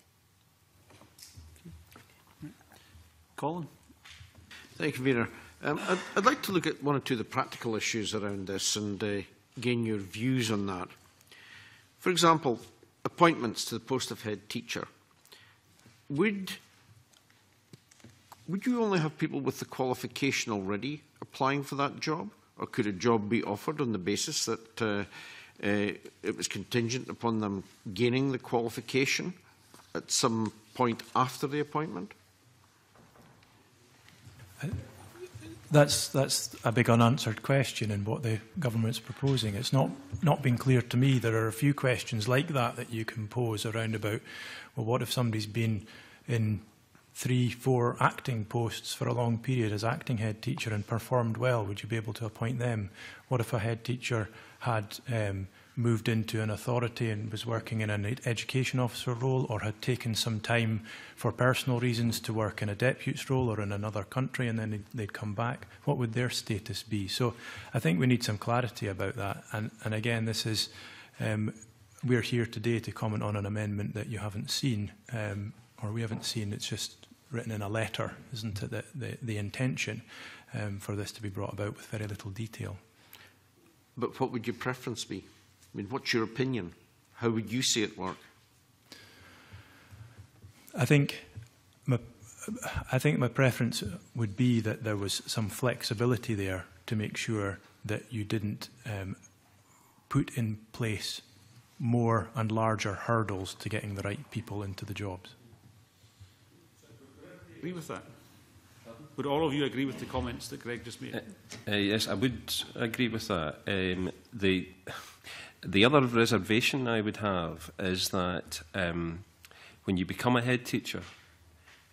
the, the first year of being a head, I was a secondary head, and the first year of being a, a head teacher is the most full-on experience that you that I've ever had in my professional career.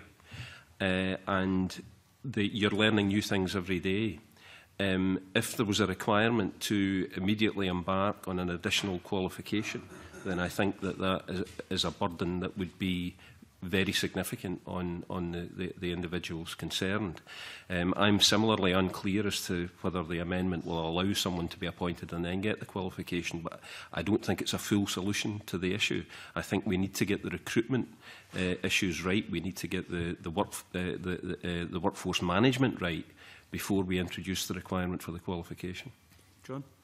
Yeah, I think the trouble for us is that um, the, whether it was prior or post uh, appointment, there's a lot of people and a lot of schools who simply wouldn't be able to find the appropriate people. We have uh, additional support needs schools um, where the principal or the head of education or the chief executive are recruited by their governing board specifically for their professional abilities in the particular complex set of needs. And it wouldn't make any difference whether it was before or after, I mean, the, the likelihood of being able to achieve this while recognizing all the other criteria they needed would be very slim. I don't myself understand how it would be implemented if, after appointment, all of one of our independent governing boards of schools made an appointment having looked through all the criteria of the people necessary and with the expectations of changes in infrastructure, estates, curriculum, single sex, whatever it might be, boarding, um, then made the per they saw to be the perfect appointment.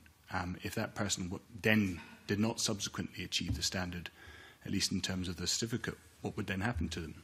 Who would take any sanction? Especially if we've got most of our head teachers coming in who've got 20 or more ex years experience, either as a deputy head or a head somewhere else, and who will be members of heads associations that have huge amounts of mentoring and personal training. Indeed, we do our own course, which has just been accredited by the GTCS. Audrey? I think I think there has to be flexibility in there. I I think that we, we absolutely, as I said before, need to continue to increase the professionalism of our leaders of our schools who, who are in charge of our, our children and, and their future. Um, but I, I, I, I think that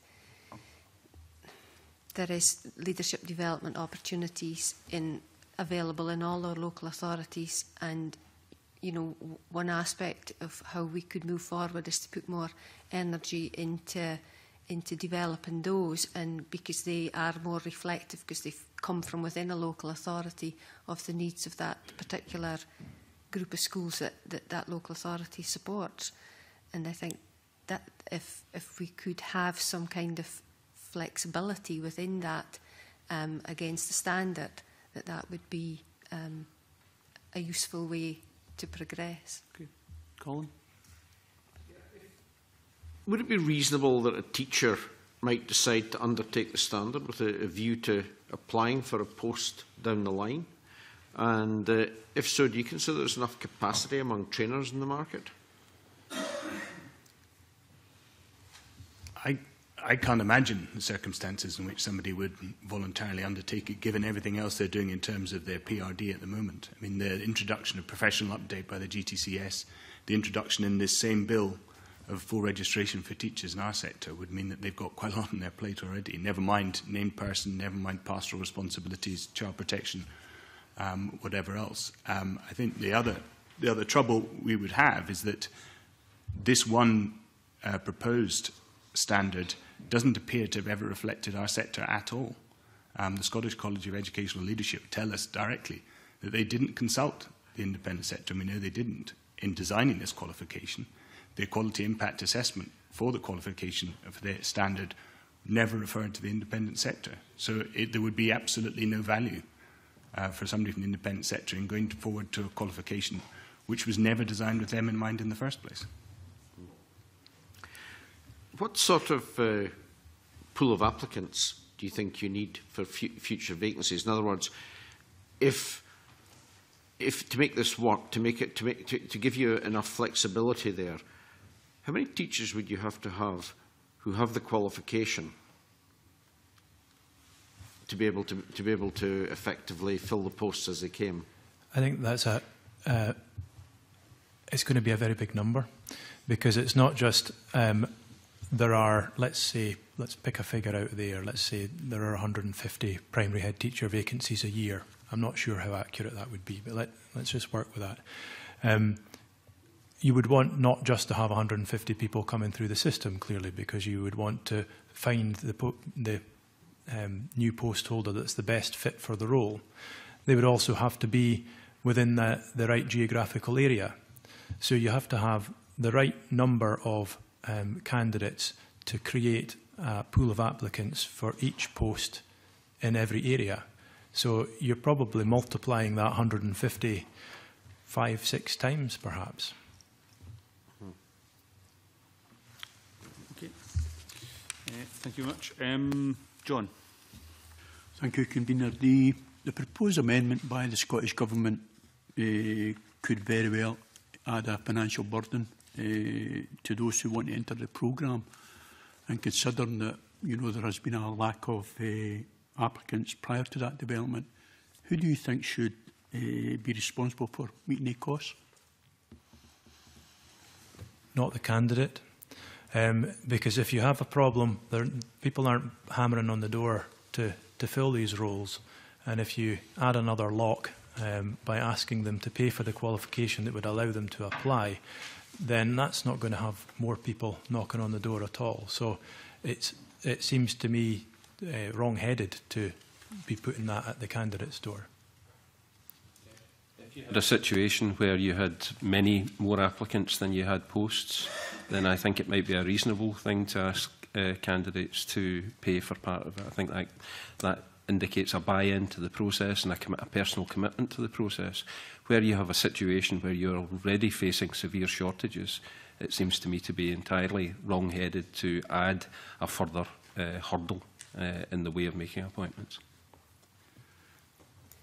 I would just add to that as well a plea for our um, remote and rural local authorities, not just my one, but other ones where there is an added dimension to the expense of candidates participating in the, these types of courses.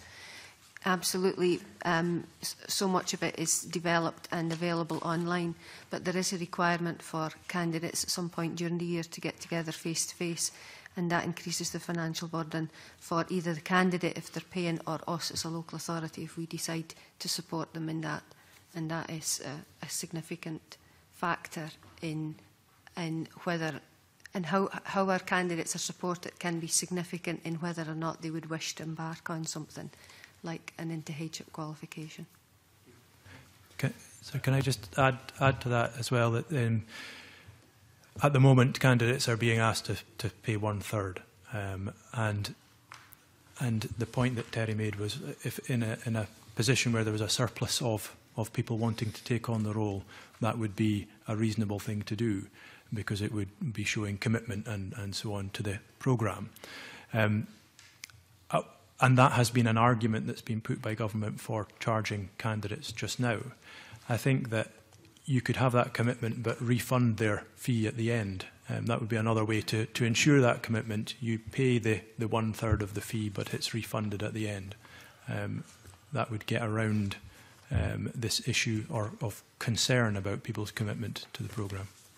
John, individual teachers and leaders are already spending an enormous amount of their own money on their training already. I mean, we have thousands of people going through CPD courses each year, none of them are obligatory apart from child protection.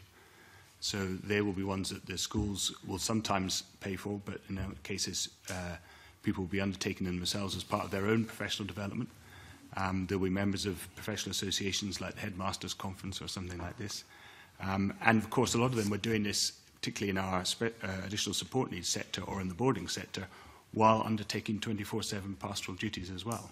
So they're making a substantial personal commitment to their profession as it is, aside from them, something that's being asked of them, which, as I say, they, they wouldn't seek to do in advance anyway, and they would probably maintain that if they put down on two sheets of paper a, a short application on the basis of their previous um, experience, that we should be more than enough. But well, you know, well, there may be an argument for, you know, if applicants are oversubscribed, I was thinking more of the equal access or uh, equality issues for uh, the likes of single parents or sole earners. You know, what would uh, Nick and the balance? What would your thoughts be that? I think, I think anything that has a financial uh, element to it is going to uh, discourage people in the same way that I think this has the potential to discourage people on the basis of age, because I think younger candidates will feel less inclined to apply for a headship post on that basis. I think there's a very, we have legal advice that suggests to us There are very strong grounds against this on free movement of people within the European Union. So I think there's all sorts of potential uh, barriers there, which will just very hard to quantify here and now, but I think will make a huge difference to people in terms of their own minds applying for jobs. Teddy. I think um, there's an underlying assumption in the way in which the, the, the, the amendment is, is stated that the applicants for this post will be comfortably off and will therefore easily be able to afford the £1,000.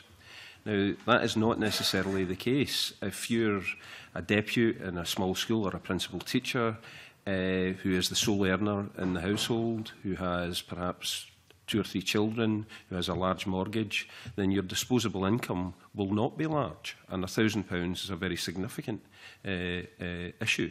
And uh, I, I have a, a further uh, problem with that and I think it would uh, discriminate against uh, what could be some very good candidates uh, who simply won't be able to afford it or who would really struggle to afford uh, the pounds up front. Okay, Liam. Yeah, I'm uh, interested. There's the parallels, obviously, with the, the provisions in relation to GTCS um, uh, registration for th for those in the independent sector. But the evidence we received in relation to that was, yes, there'd been probably inadequate um, prior consultation, but generally speaking, the sector was moving in that direction. The numbers that weren't so registered were, were coming down pretty much by the by the month, and therefore what was needed was transitional arrangements that, that, didn't, that avoided a situation where um, uh, unnecessary problems were being, uh, were being caused. Whereas, listening to the evidence this morning on this provision, um, Terry, you've already questioned whether or not this provides some kind of gold standard um, guarantee of, of, of, of better quality provision. Uh, but actually, for all the reasons you you're talking about, even transitional arrangements here aren't necessarily um, a, a, a solution. And therefore, a, a question has to be over whether or not this should be written into the bill um, at all. Is that a fair assessment? I, think it would Uh, the ADES written submission indicates that there should be uh, some sort of phasing in. I think it, it would depend what that phasing in involved. It would depend the timescales. It would depend on um, exactly how that was worded. There possibly could be some phasing uh, of it that, that, that could work over time, provided at the same time the issues that I mentioned earlier to do with pay differentials, uh, uh, workload, perception of the job were also being addressed. Um, I do, however, believe that at the moment, um, uh, you know, uh, the three-year period in, in, in the bill is just not, it will lead us to, I think, a crisis in three or four years' time where we will have a large number of head teachers' posts across the country unfilled. But that's what you said. I mean, uh, even with a transition, what you're talking about is, is introducing this at a point where there are already um, parts of the country where, where mm -hmm. recruitment is a yeah. serious challenge. Um, and therefore, a, a, a transition is not only going to make that more difficult in the, in, in the short term, actually medium to longer term, trying to get on top of this is, is going to be next to impossible for some local authorities. I think um, parts of the country is, is an understatement. Most of the country, there are problems with, with recruitment to these posts. And I think the points that, that Terry was making and I made earlier about the, the reasons for lack of application, um, they certainly need to be addressed. Um, otherwise, we're going to go to a situation where um, the local authority's only response would be to be able to um, appoint um, acting head teachers all over the place, and that's not what anybody's looking for as, a, as the intended consequence of, of this. Um, so the underlying reasons for lack of application certainly need to be addressed. I, I don't have a particular view about what timescale that um, would be able to be achieved in, um, but the sooner the better, because this is, this is an issue um, that has been around for a long time, the lack of applications for headship. Um, and and it's absolutely right to say that that uh, creating a qualification and an obligation to have it isn't going to solve that at all. It's just going to make it worse. But is there, is, can you can, can you think of something that would, in the in, in the current circumstances, um, achieve the objective of driving up um, standards, which everybody um, uh, would find as a shared objective, without providing, uh, I suppose, a straitjacket of a, a specific qualification or requirement to have it? Uh, either at the point of, of, of, of uh, assuming the role or, or shortly thereafter. The, well, there's another part to the, the, the sort of continuum that the, the, Scottish College for Educational Leadership is looking at here, which is the post-appointment um, period um, and the extended induction that's going to be looked at and, and developed. And there's a, a, good system in Perth and Kinross Council at the moment where there are are a very significant number of days given over to induction and development within uh, and support within the authority. Um, that's not something that exists across the board. So that that's something I think that would be a very positive development to improving support for school leaders um, uh, on appointment and increasing standards to a degree. Um, but we're actually quite positive about the development of this qualification. Um, the the fact that it's going to be obligatory is something that um, I think we can welcome as well, um, but the time scales are absolutely an issue. Check something. Um, my understanding is that the new qualification will replace the Scottish qualification for headship. Explain to me what happens with the current headship qualification, the SQH. I mean, do individual teachers apply for that, go through it? Who pays for that? How does it currently work? Current situation is that, um, yeah, it, it is not a compulsory uh, no, I know requirement, it's not compulsory, but, um, but uh, people do apply for it. We have, in my own local authority, a small number of applicants each year. Uh, we pay for it as a local authority. Right, that's what I was getting to. So you pay for the current qualification yeah. for those who go for it. So what's wrong with you paying for the new qualification? There's nothing wrong with us paying for the new qualification. The right. problem is the compulsion uh, to have it before you're appointed. No, sorry, but just a moment ago in, in questions about the, the, the, in terms of the possible problems, you were relaying the issue about the terrible financial burden that there could be on certain individuals in, in order to apply for this. And you're now saying that the current qualification, you pay for it as an authority, and there's no problem with you, you as an authority paying for the new qualification. So where's the financial burden problem that you were just relaying to Um, I, I understand that the assumption with the new qualification is that the candidate would be expected to pay uh, a third of the cost. Yeah, that's, that's, what's in the, that's currently what's drafted as a, a possibility. Yes. But we're exploring this as a, as a, a future amendment. So uh, you have no it, problem with the, the local it authority. Would certainly, it would certainly help if that, uh, if that element uh, was, re was removed. And I suppose in, in answer uh, to the earlier question about you know, a phasing in? You're, is there any possible phasing in? I mean, I, I suppose changes to the requirements would help. That would be one that would help. But I think the thing that really is required here is that a lot, a, a, just a longer timescale, if you were to extend from 2018 to, say, 2022, that might allow uh, for the other issues uh, to do with uh, recruitment to be addressed. So in a sense that my suggestion about some sort of phase, or the ADES suggestion about some sort of phasing, is partly a phasing of the, of the qualification, but also addressing these other issues. And three years is not enough time to do that. Okay, I, I get the point you're making about the, the time scale, but I'll bring in the others. John and then Craig. Yeah, very briefly, in, in a case of all of our schools, the cost is entirely met either by the teacher themselves or by the school. And if it's met by the school, that either means it's coming out of parental fee income or it's coming out of the coffers of Capability Scotland, the National Autistic Society, Common Thread, Royal Blind, whoever. Okay, yeah, Greg? Um, my understanding is that uh, COSLA were entirely opposed to um, funding uh, funding it from uh, local authority settlement because it was a new obligation that they were being faced with.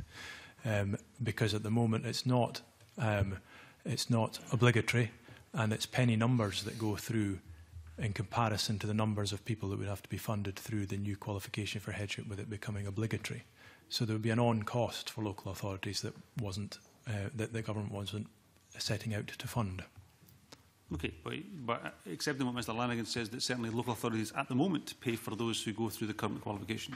The difference is in numbers. That's the, num the difference is the numbers. We've got normally three uh, applicants for, uh, on average for the SQH each year.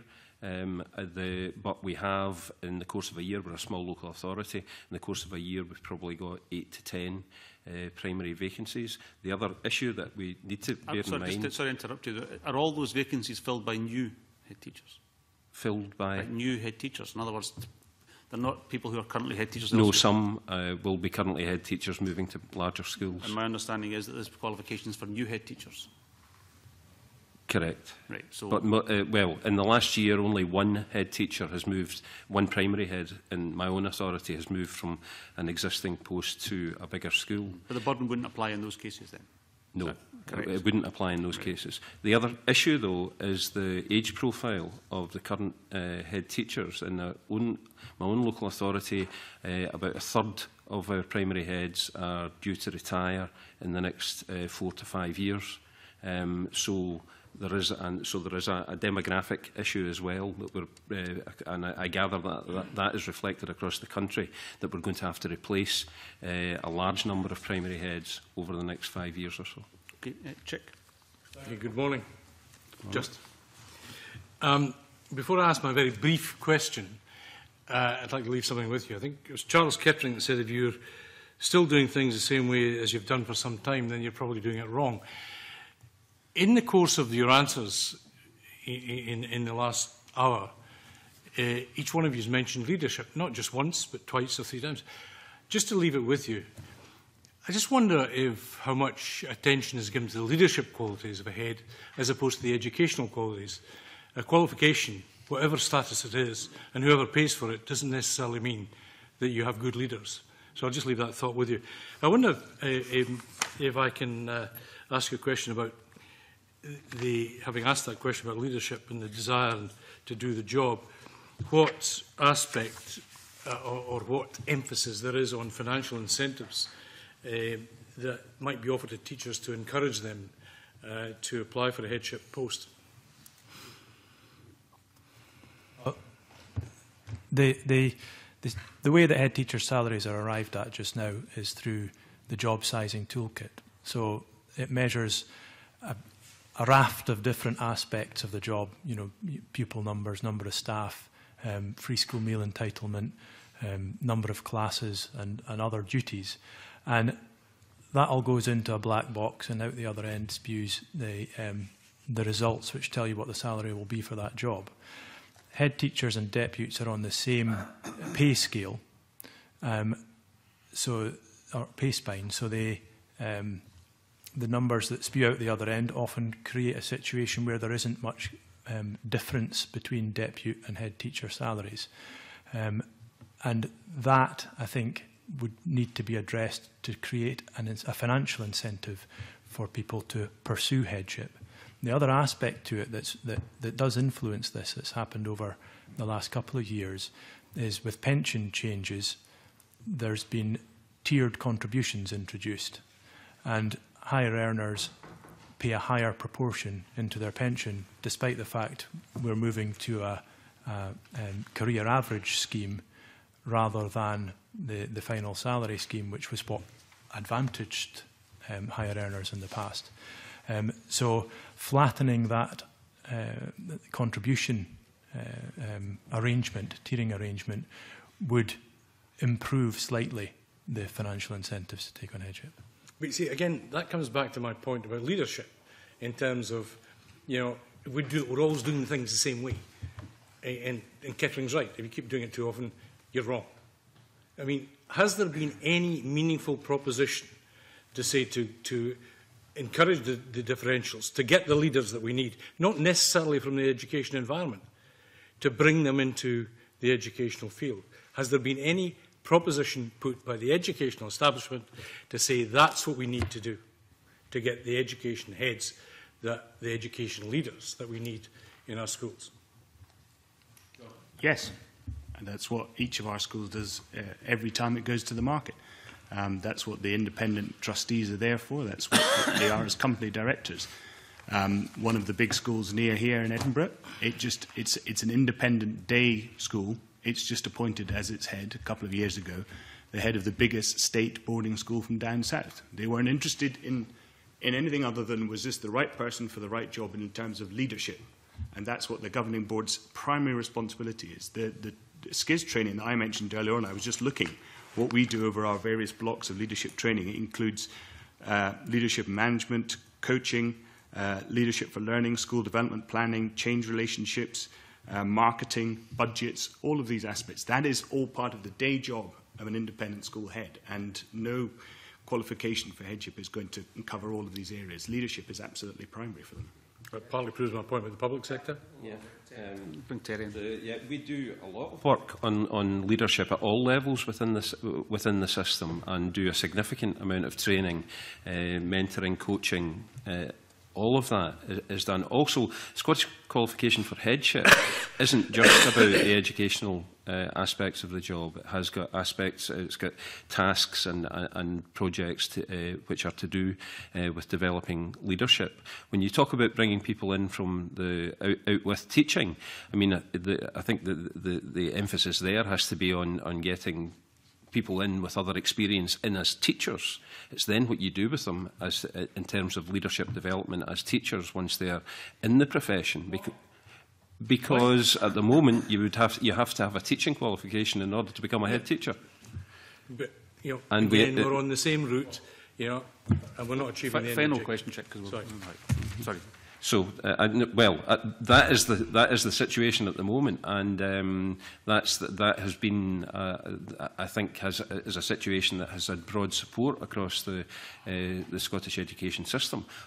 Other uh, systems have gone down different routes where people have been brought in uh, to head up public sector schools uh, with no teaching qualification and have been brought in for their leadership qualities. But if that was to be uh, a development, which I'm not sure I would welcome in Scottish education, then that that would require legislation.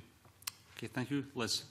Uh, thank you, and Convener, can I put on the record two things? Firstly, that I'm GTC registered and also that I'm a governor of two independent schools. Uh, Mr Edward, I wonder, could I just tease out something that you uh, said in an answer to an earlier question, uh, that you don't believe that this qualification was designed around any consultation with the independent sector.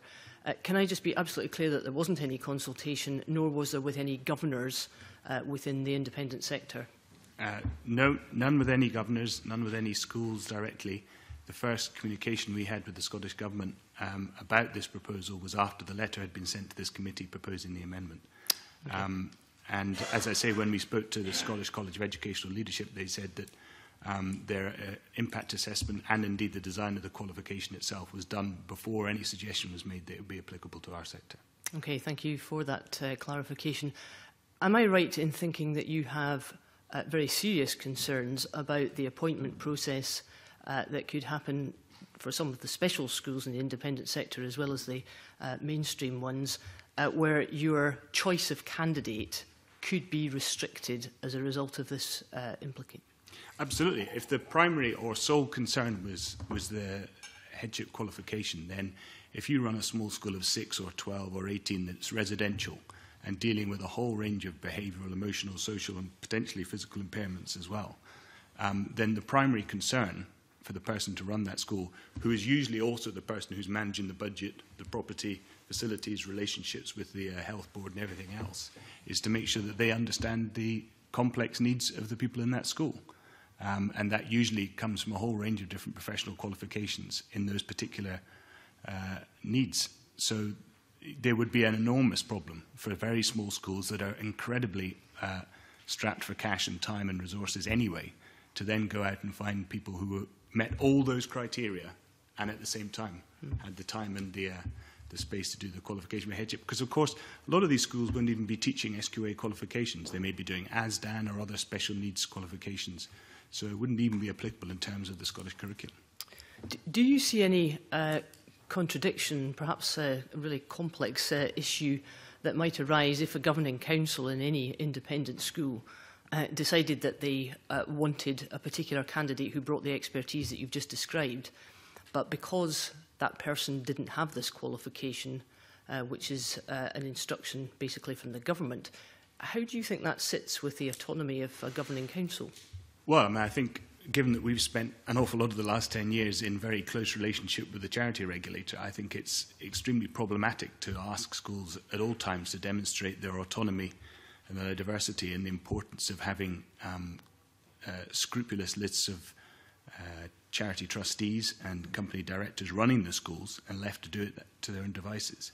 And then saying, but when you go through the one primary objective you, you have as a governor, which is to appoint the correct head for the school going forward – to say you must do this with this consideration over your shoulder. Um, school, as I say, if a school was switching from SQA to the International Baccalaureate or back again, or switching from single sex to co ed, or doubling the size of their school estate, or halving the size of their school estate, or taking on more learning support facilities, then that would be the priority as much as the day to day teaching in the school, which might be devolved to senior heads, deputy heads. And that's part of the responsibility of the head. And that is the first thing you're going to want to look at as a, as a governor, whose responsibility to the government and to everybody else, to the charity regulator, is to make sure that the, the, the, the organisation, the institution, is run in a fit and proper way. Okay, can I just finish on, on a point uh, about where you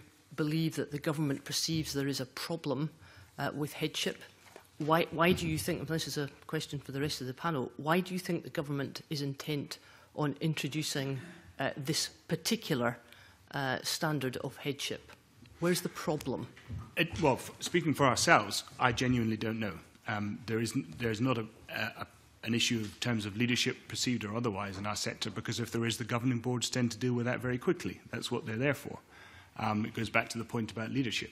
Um, and in terms of the overall discussion, including the discussion you were having earlier about the national improvement framework, if the absolute priority in all of this is about attainment, then the one issue that is not at fault in our schools is attainment. Indeed, when I'm called up by journalists, it's usually to justify why we're attaining too well rather than attaining too badly.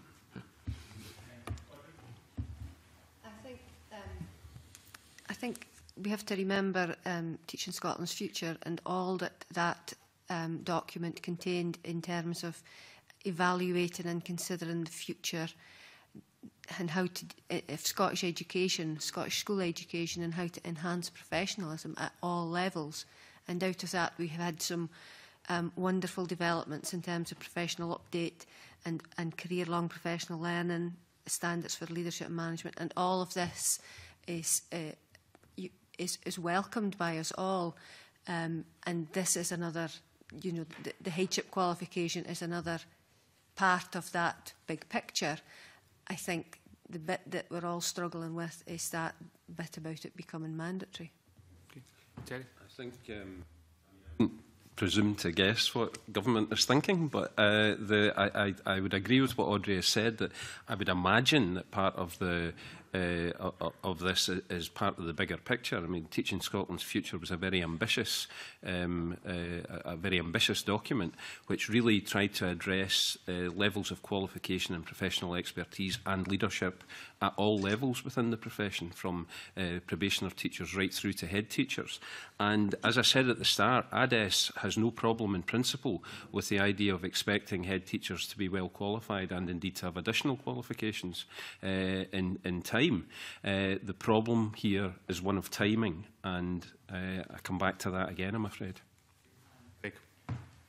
I don't think that the government's trying to address a deficit in the quality of leadership. It's about continual improvement. And um, for that reason, we welcome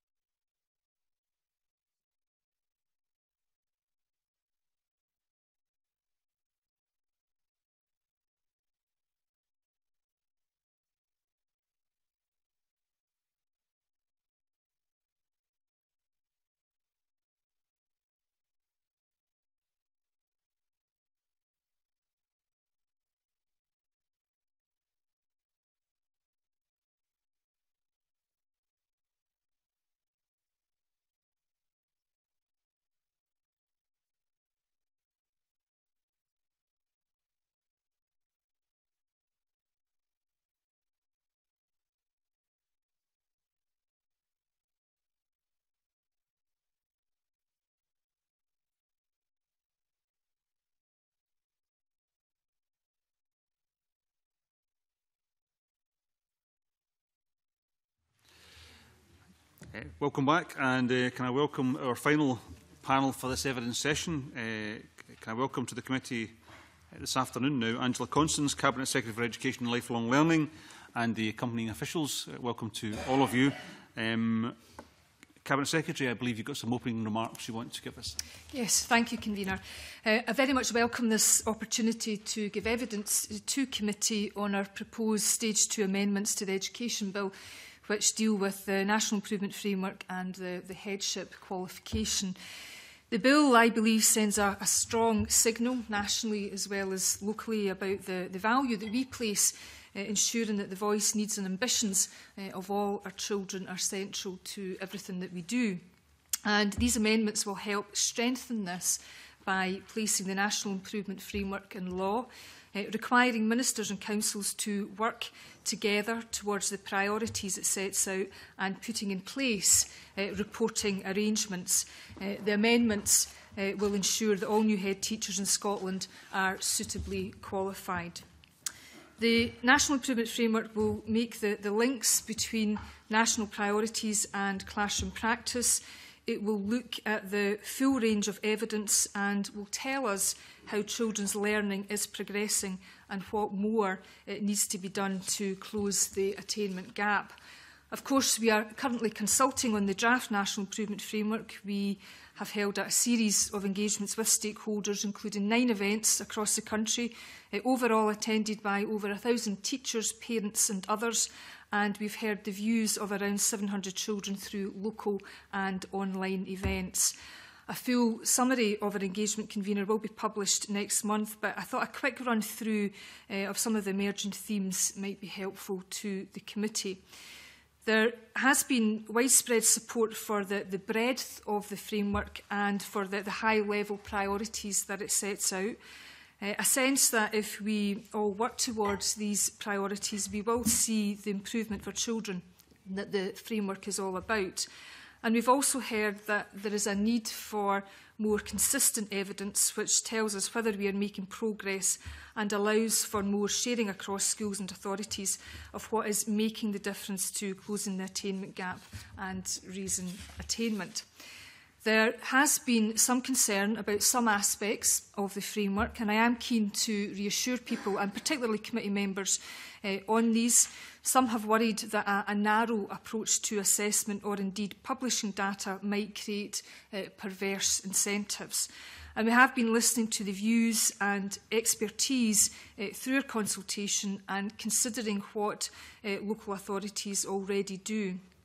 And we know that standardised assessment is in use in different forums eh, across schools across the country. And learning from this range of practice is informing our thinking about a national eh, approach to a broad range of assessment data. And our engagement has reinforced what we already know that teacher judgment is key to the improvements uh, for children and the success uh, of the framework. We have said from the beginning of this process that standardised assessment should only inform teacher judgment, eh, not replace it, and a more consistent approach to a broad range of data is needed eh, to give everyone with an interest in children's progress, from parents to ministers, eh, and meaningful eh, information to work with. Our future publications should include uh, a range of information that shows where we're making good progress and where we might need to do more to close the gap and improve standards more generally. Turning briefly to the, the headship qualification convener, uh, strong leadership and the best teachers are a fundamental part of improving attainment and achievement for our children and young people. And the introduction of a, a standard for headship qualification will ensure that the quality of educational leadership in Scotland is top quality. The idea that prospective head teachers should be qualified before taking up post is not new and has been Scottish Government policy since 2005 and the amendment will clarify what already exists in guidance. So I'm happy to take further questions on these two issues, Convener. Uh, thank you very much, Cabinet Secretary. Um, just for everybody's information, we'll, we'll, we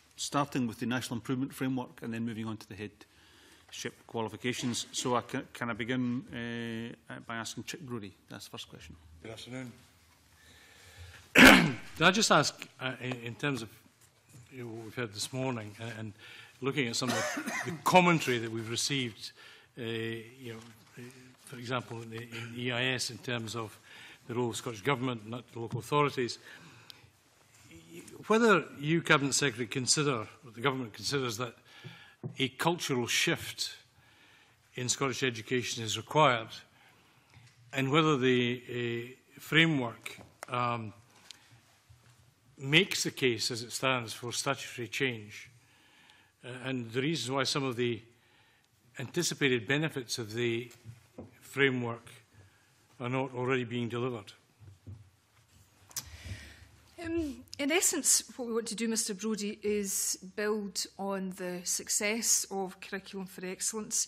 Uh, I very much see the National Improvement Framework as part of the next phase uh, of Curriculum for Excellence. Um, we want to introduce more consistency uh, in our approaches to uh, raising attainment overall and closing the gap. We want to see more Uh, sharing of uh, best practice. Um, and we want to see reports that focus on the evidence that you know, explains how improvements are being made as opposed to just measuring uh, what improvements are being made. So I think we're already building on the culture that already exists uh, within our schools and within curriculum for excellence. But we want to have um, you know, a, a level or a degree of consistency of approach, and that's imperative uh, if we're going to tackle uh, inequality, because we know inequality exists within classrooms, within schools, within local authorities and uh, across uh, the country.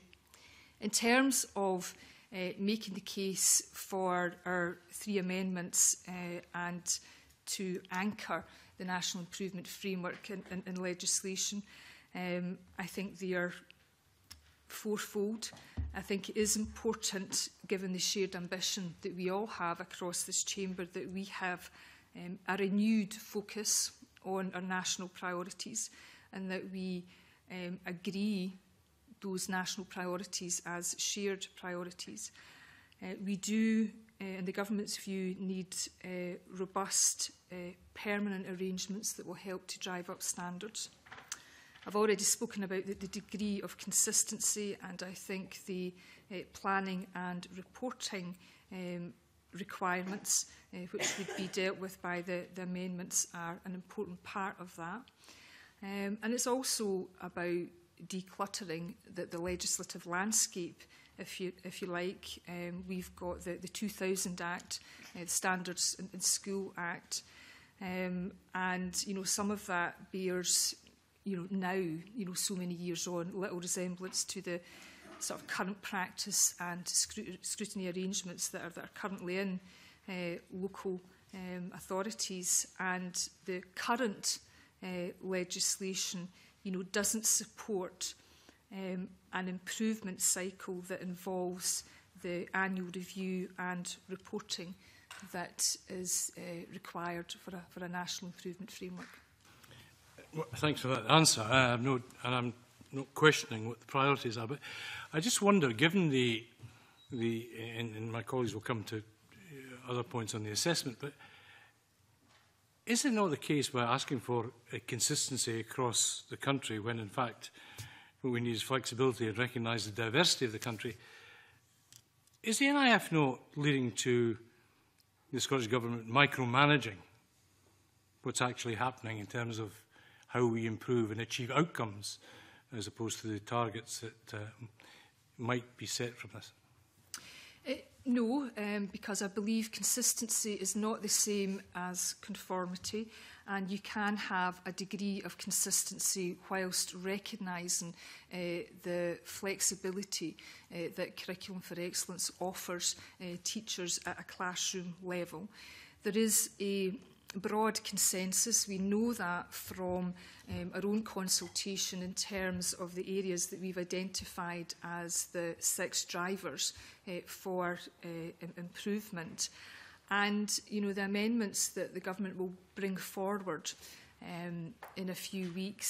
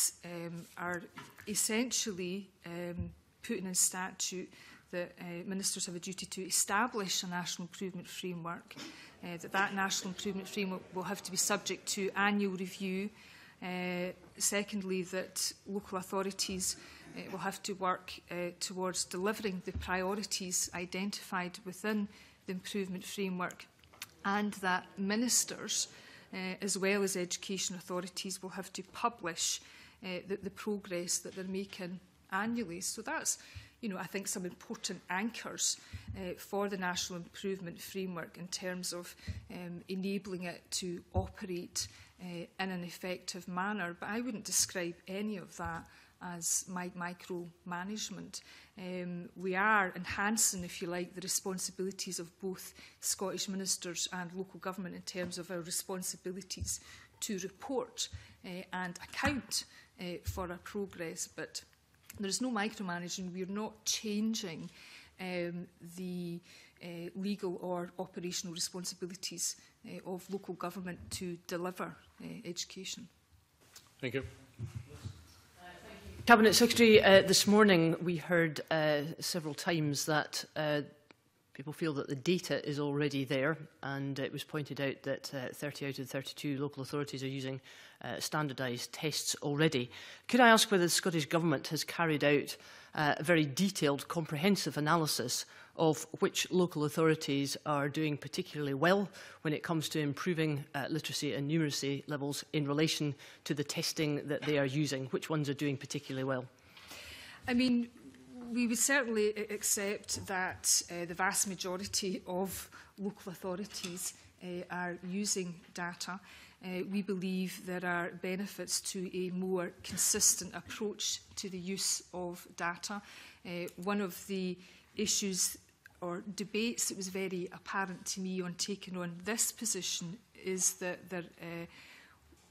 is a debate about how we use data sensibly uh, uh, to drive improvement. Um, there is certainly the Audit Scotland report um, a few years back uh, that points to you know, a variation in performance of educational outcomes across the country. And it's a report that also points to that some authorities are better than others at overcoming deprivation and that the two broad factors around that are in relation to uh, teacher professionalism uh, and a sensible, proportionate, you know, uh, coherent use of, of data. I'll ask Donna to speak a bit more.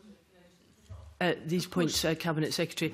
I mean, crucially, this is about raising standards. That's, that's the whole intention. You've said it many times on the record, as has the First Minister, that that's, that's the reason for the national uh, framework for improvement. Uh, what I'm asking is, has the Scottish Government done very significant research into the local authorities which are using uh, the type of testing that is proving that they are doing particularly well when it comes to raising their standards.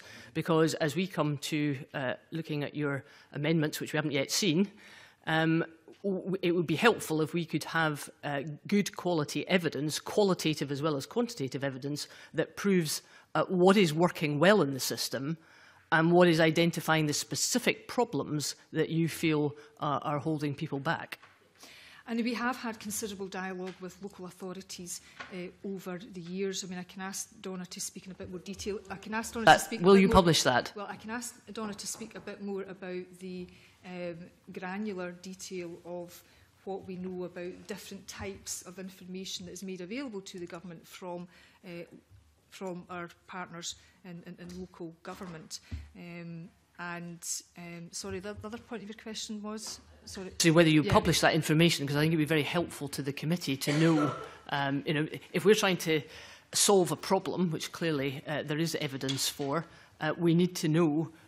uh, who, who and where uh, we're having some success in, in, a, uh, in addressing that problem. That, that's what I'm driving for. I mean, we, we're certainly going to um, do an interim report um, that will be you know, published um, at the beginning um, of uh, next year.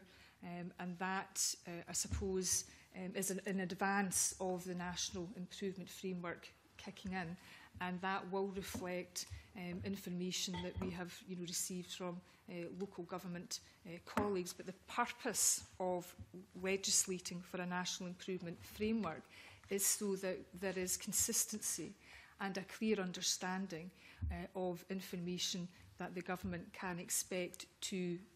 receive from local authorities. Local authorities aren't under any obligation uh, to forward uh, information of the nature uh, that, that you describe. Uh, but uh, Cabinet Secretary, it, uh, uh, very shortly we're going to be asked to debate in a very short time scale um, amendments that you will bring forward would it, would it not be helpful if we had some of the qualitative data, which many people argue already exists, in front of us so that we can make an informed decision about what has to go into this uh, national improvement framework? Well, what I'm saying is that local authorities don't have any obligation just now to forward uh, data uh,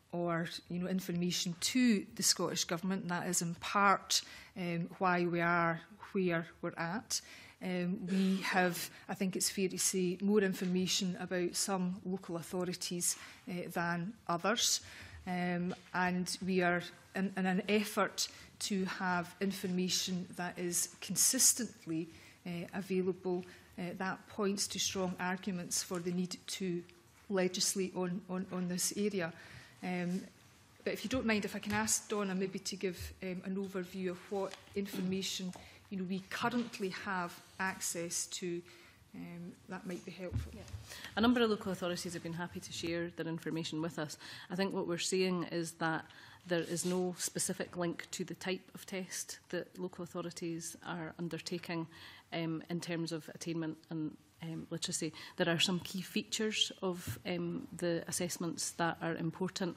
We're currently working with local authorities to develop the specification for um, the standardised assessment um, at a national level. So it's our intention that that assessment will feature the best of the best from those things. The very important thing um, is about the data use and how teachers and head teachers, etc., are doing that. So we're working up a, a package of support that will sit alongside that. Question, convener. Just, it's just on the, it's just on this point. Um, we heard this morning uh, Mr. Monroe say uh, that uh, he was quite sure, as a director of education, that he knew exactly where improvements had been made. But we heard that parents don't feel that that's being communicated to them. Could you comment on that?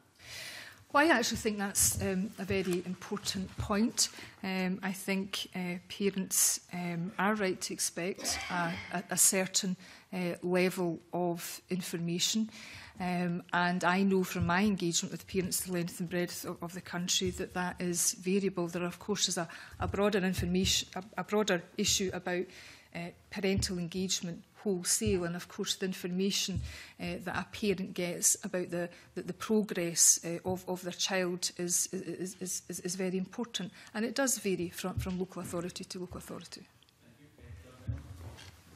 Cabinet Secretary, the Scottish Government approach to NIF has been supported in uh, written submissions from ADS, Aberdeenshire Council and Celsus.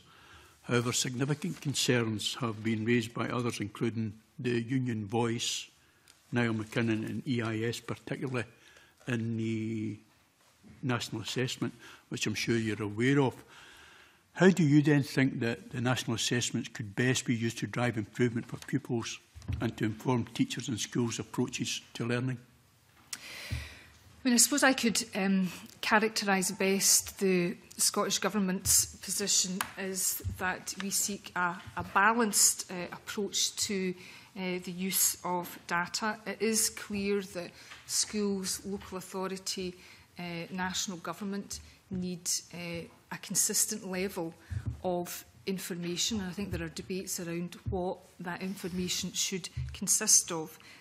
But it is important that there is consistent information to drive improvement. And that's the focus. We're not looking for information uh, for information's uh, sake. It has to be information that we're gathering for a purpose, and that purpose has to be it eh, has to drive improvement.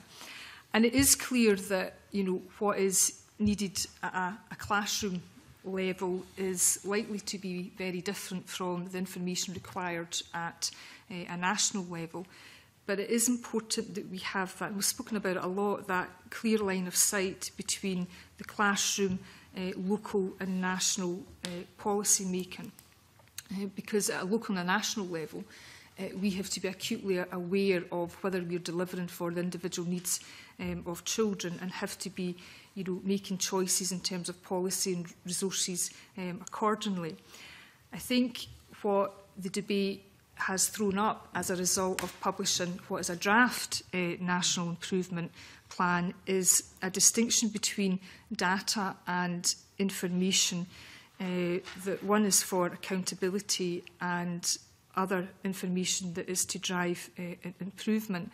And as a government, uh, there should indeed be information that holds uh, our actions to account. I would argue that that would be the same for our partners uh, in, in local government. And we have to reconcile the two, that information is indeed needed for accountability purposes. Uh, but first and foremost, the National Improvement Framework has to be driven by what's going to uh, improve the educational outcomes uh, of, of, of children and what's going to improve um, their um, life, life chances. And I know, um, Mr Pentland, you've mentioned you know, standardised uh, assessment. Um, and it's important to say that you know, the assessment of children's progress is just one of the, the six uh, drivers of improvement. And in the context of curriculum for excellence, you know, standardised assessment would be 10% uh, eh, of the curriculum because uh, much uh, of what we do relies on teacher judgment. So the standardised assessment, uh, we're absolutely clear, you know, needs to inform teacher judgment and most certainly not uh, replace it. So, you know, I'm alive to, you know, the debates in and around, you know, what information is published, how it's used and at what level. Um, and it is fair to say that, you know, there are different needs, you know, at a school level, at a local authority level uh, and at a national level. Um, and that's what we're very actively engaged uh, to, to, to resolving. Just very quickly, Convener, uh, there are also some concerns raised, Cabinet Secretary, with regards to teaching to the test. Uh, do you have a view as to whether actually done at the beginning of the year as a tool to assist teachers or done as a measure of progress uh, typically at the end of the year? Well, I've been very clear that um, the purpose of um, standardised assessment um, is to assist teachers on the front line. And one of the compelling reasons to introduce a form of standardised assessment is for diagnostic purposes.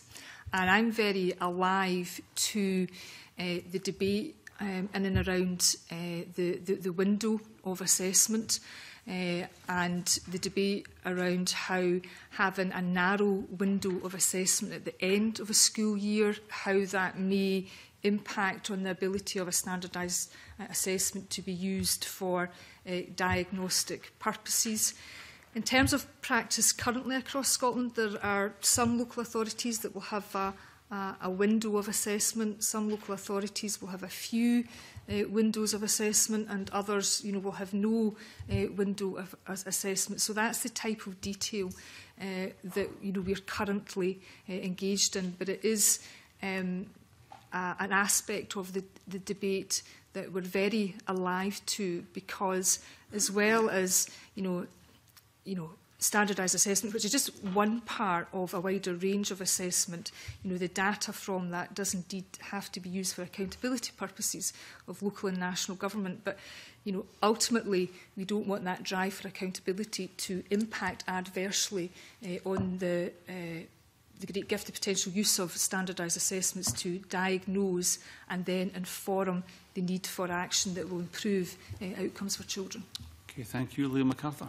Uh, thank you. Um, Cabinet Secretary, we heard uh, this morning that um, in terms of standardised testing and assessment, that's, uh, that's already going on in um, 30 of the 32 local authorities. There's even an argument for saying to some extent it's going on uh, across all local authorities to, uh, to an extent. Uh, the provision here um, uh, for, for national standardised uh, testing and assessment um, doesn't make clear what the status of the activity that's currently going on will be.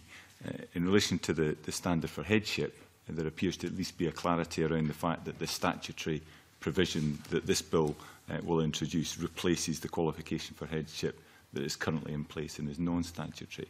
We've not got that clarity here, and therefore there are concerns amongst teachers that this will add to the workload um, of, of, of teachers uh, over and above the concerns around um, uh, league tables and, and teaching to the test. What assurances can you give about the status of the, the current activity that schools and local authorities are undertaking? We've been clear from the outset that any introduction of a, a national standardised uh, system of assessment um, is to replace uh, current activity. Uh, the last thing I want to do is to add to the workload of teachers.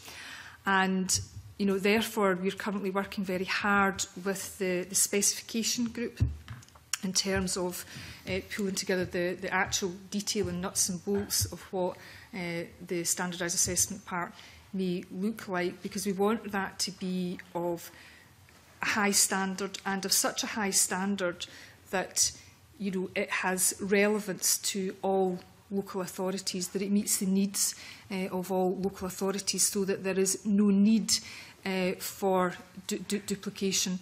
Um, and one of the, the benefits, um, if you get the detail of a standardized uh, eh, assessment done at a national level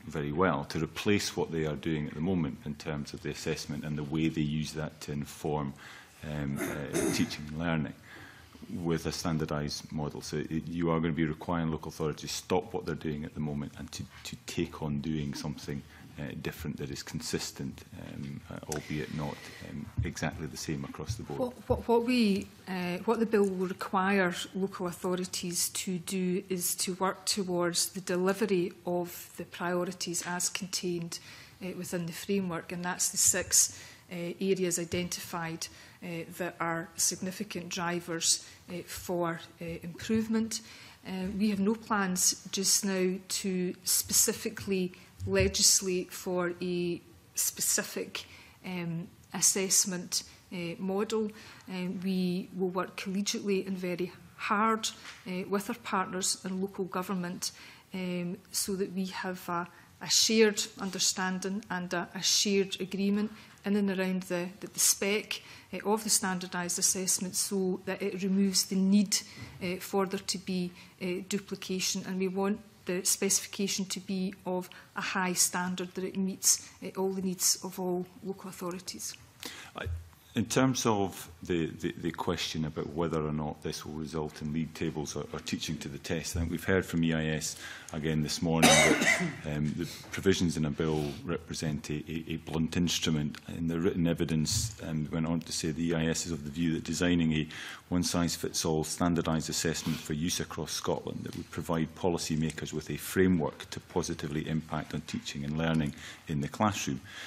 is a challenge that has proved to be beyond the capacity of any education system system which has attempted such an approach.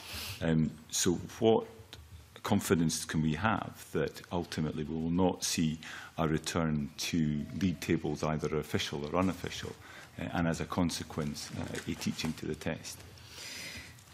Well, as Mr MacArthur will know, this government has uh, no desire whatsoever to return to crude league tables, to teach to the test, to narrow down uh, uh, the, the, the curriculum uh, whatsoever. This has never been about returning to high stakes national testing uh, of the past.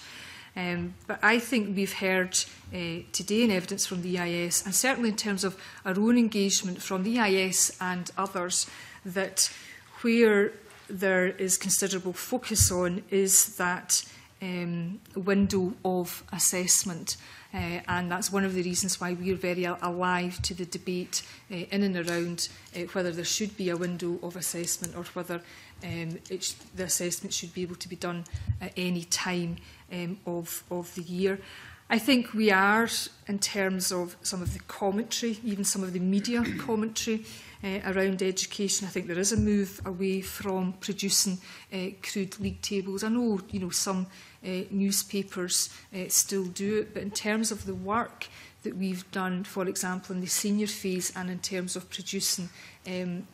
parent zone, um, I think that gives a good indication of uh, the benefits of a more like a dashboard of information and we're currently um, in dialogue you know with our partners about producing that dashboard of information for the broad general education part um, of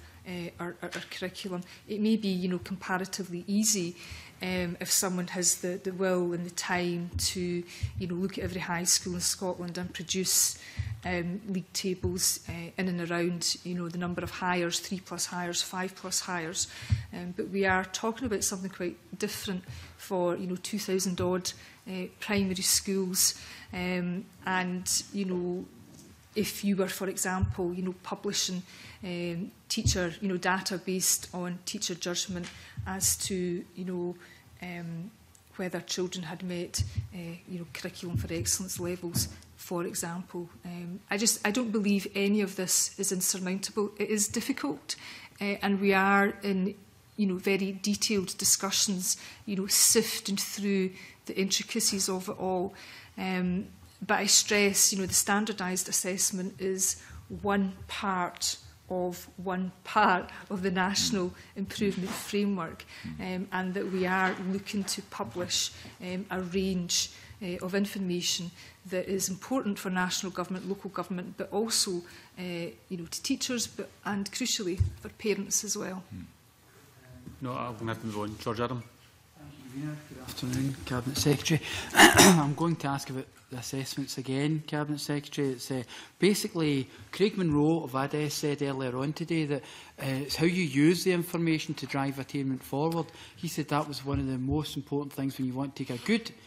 system and make it a great educational system. Now, is that not the case that the kind of information you've already said that is actually been able to get the information, to be able to get the resource into the areas that need that resource? Is that not what we're talking about when we're talking about the assessments as well, to help the attainment officers that are in local authorities as well now, to ensure that we can actually get the, the, the actual resource to the individuals, the pupils, the families that need it?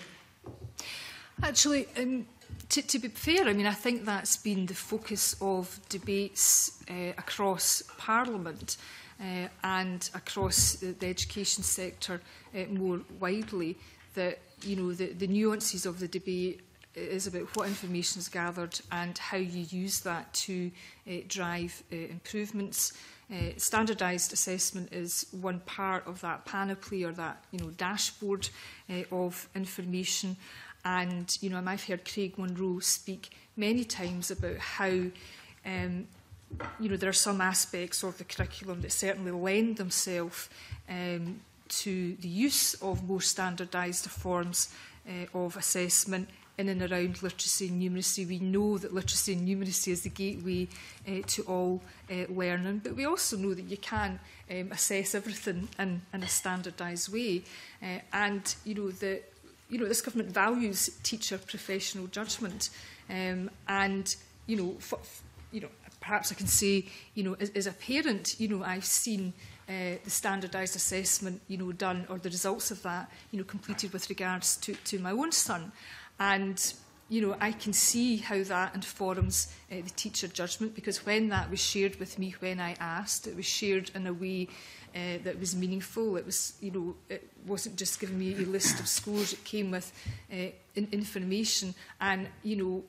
it chimed with actually my understanding um, of my, my son's strengths, and it chimed with uh, the information that. Uh, I had been given on many parents' nights from, from, from teachers. So standardised assessment is one aspect that informs uh, teacher professional judgment, and we shouldn't be, you know, we, we shouldn't be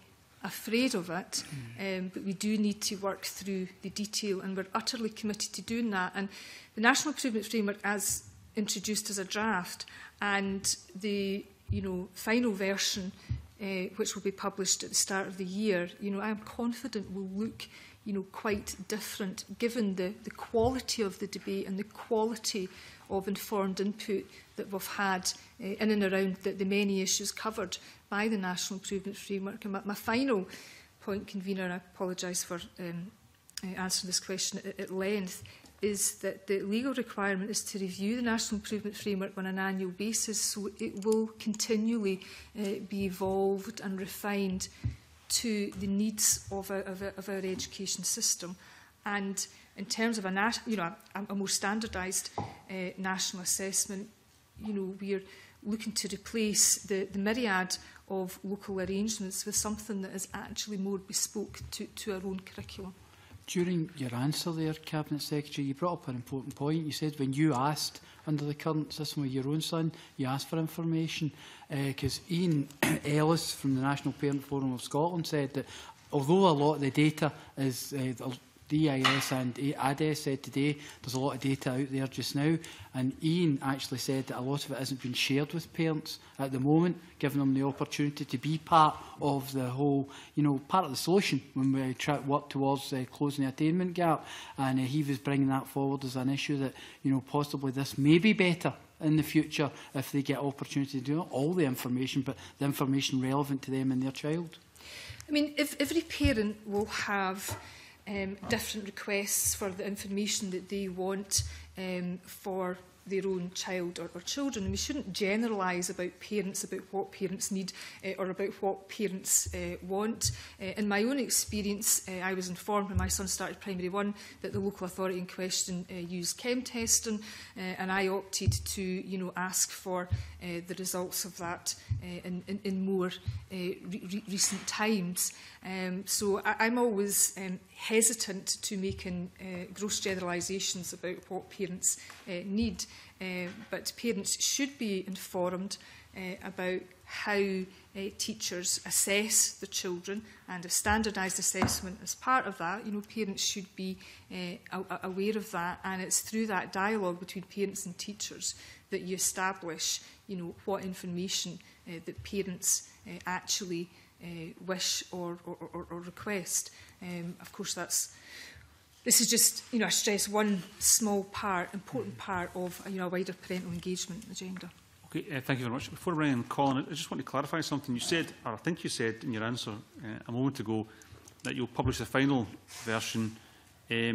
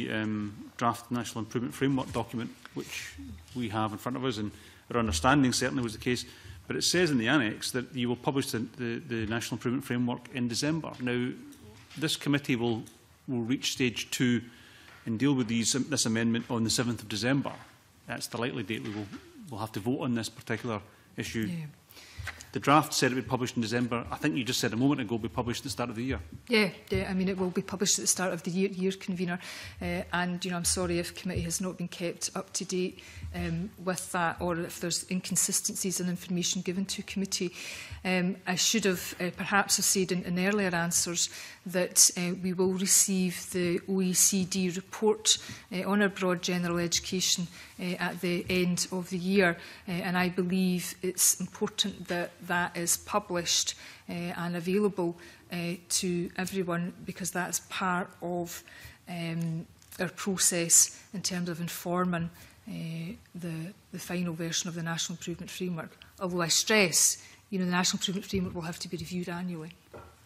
I understand that, and um, um, I understand why you're saying you want to wait for that publication from the OECD my concern, I have to be honest, my concern is that that publication of the final version of the uh, National Improvement Framework will be after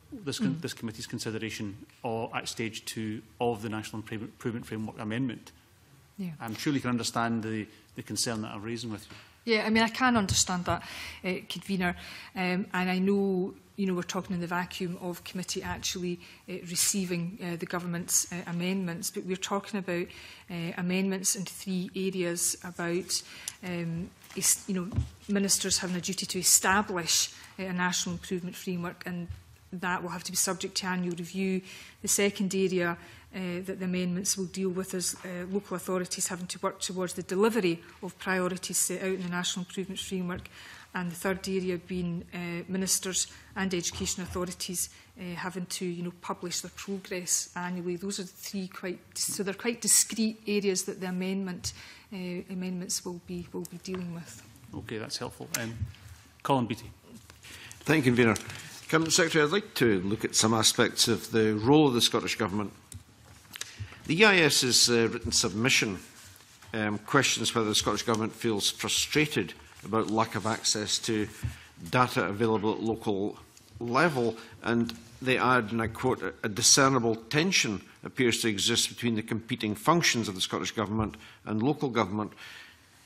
Do, do you recognise that? I mean, I suppose I would articulate it um, with, a, with a different tone um, that, um, yes, you know, uh, there is lack of information uh, available to the Scottish Government and there is a, a lack of consistent information because, you know, reflective of the current situation, it's not necessarily um,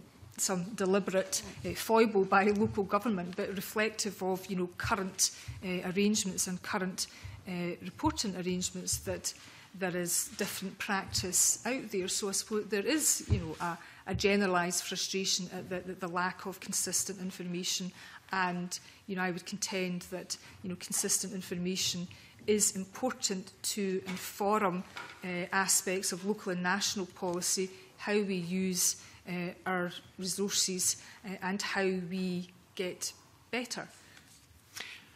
Our first panel seemed to be a little concerned about uh, the collecting of data And in fact, I asked a specific question about whether this affected the levels of accountability between local government and national government. And they were a little hesitant, but they seemed to indicate that in certain circumstances that could happen. would you agree with that? I mean, in terms of the proposed amendments that I have outlined today, um, and in terms of the National Improvement Framework, overall. I, I don't think any of that changes radically the balance of accountability or the, the, the balance of responsibilities.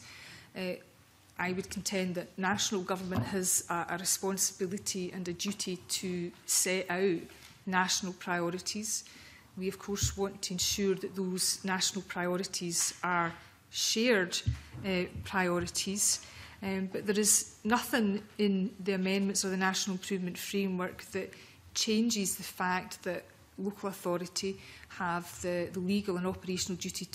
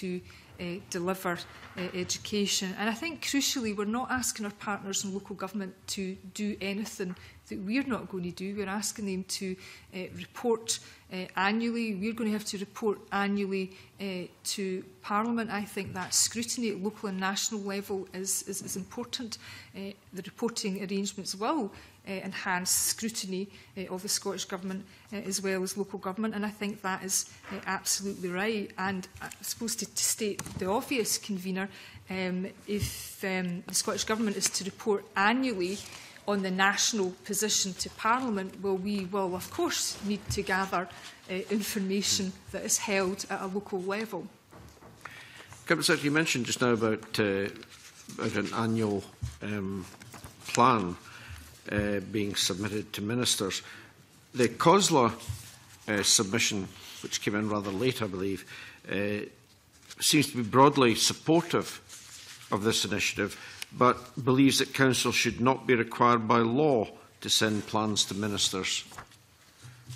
Do you have any view on that? Well, if, um, if local government wasn't required by law to submit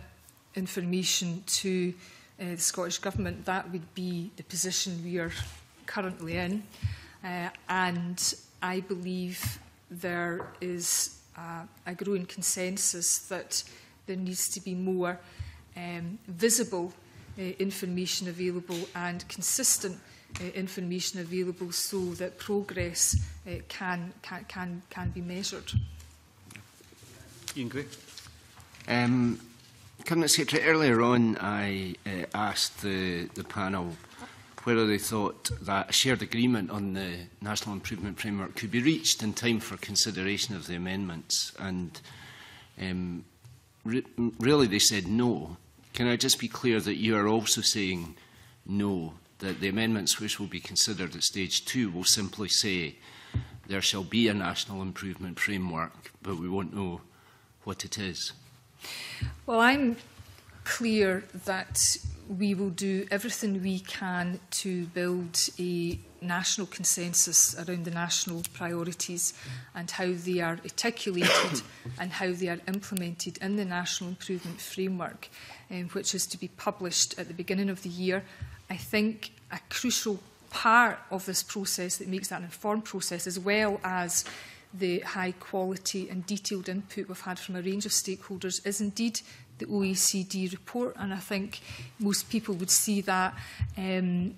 as an important part of the process that we're not publishing the final National Improvement Framework prior to uh, the, the OECD report uh, or assessment on uh, broad general um, education.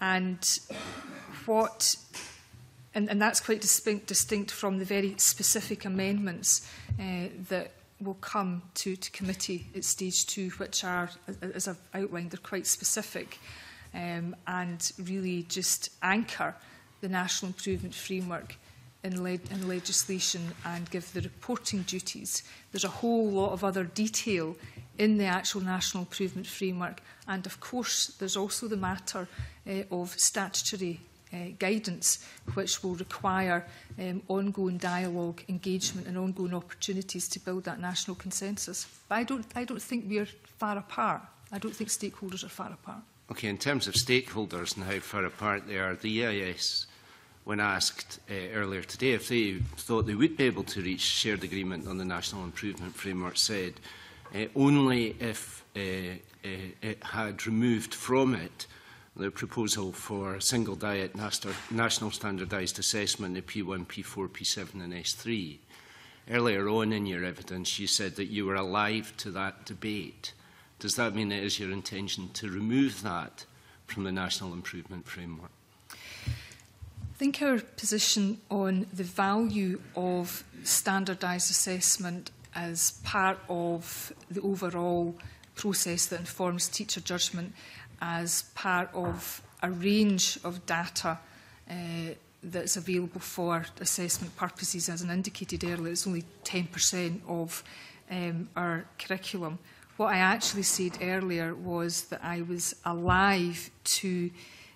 the debate around the window of assessment and the links between having a, a narrow window of assessment and uh, how that links with perverse incentives. I'm, I'm asking if it is your intention to meet the EIS's requirement to reach a shared agreement.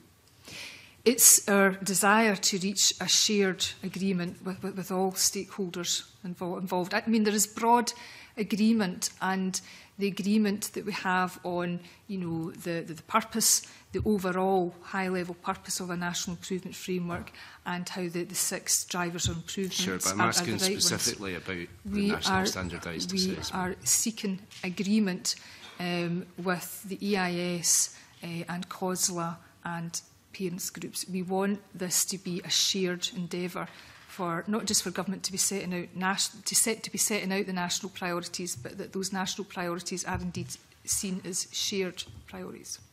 Mr MacArthur earlier asked about the impact of the new national standardised assessment replacing what already happens uh, in different local authorities and at the hand of, of different teachers. And in response to him, you said um, we're not intending to legislate for the national standard assessment to happen. Are you suggesting that there will be a national standardised assessment, but it will be optional and local authorities can choose to take part or not?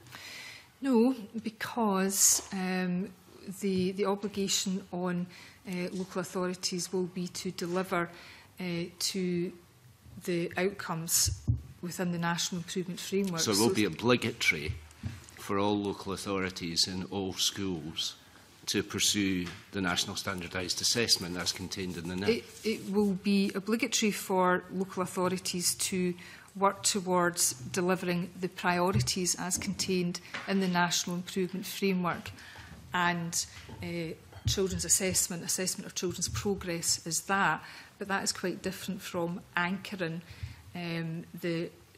specific specification if you like, of a standardised assessment. But it's and also not an answer to my question. Well, if the NIF contains national standardised assessments, will it be obligatory for those to be applied in every school in Scotland? Your answer to Mr MacArthur was ambiguous. Your answer to me was ambiguous.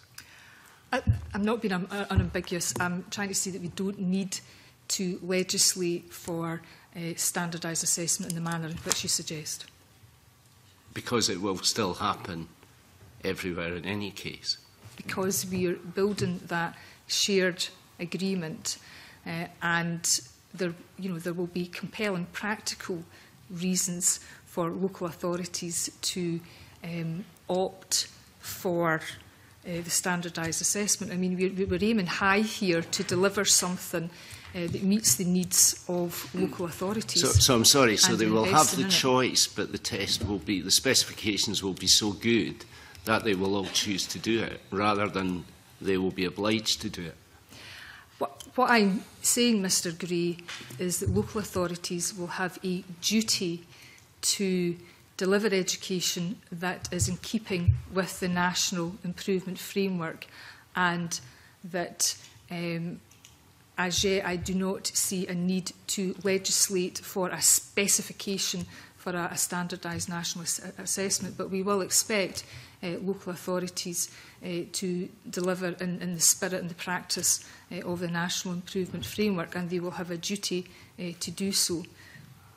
on a range of issues.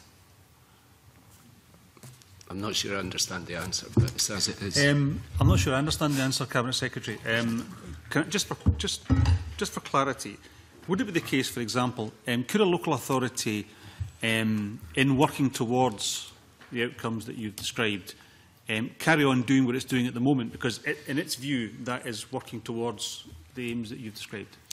Well, if we have consensus, you know, there is no need to use some of the, the blunt instruments as suggested uh, by others. Uh, there is, of course, the um, opportunity uh, for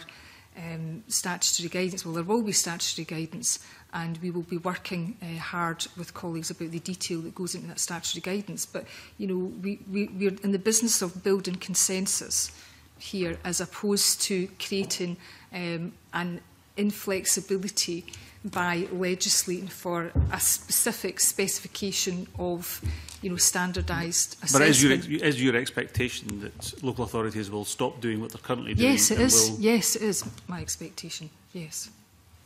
Okay, thank you very much for that. I'm going to move on now to the uh, questions on the headship uh, qualifications, and I'm going to begin with Liam MacArthur.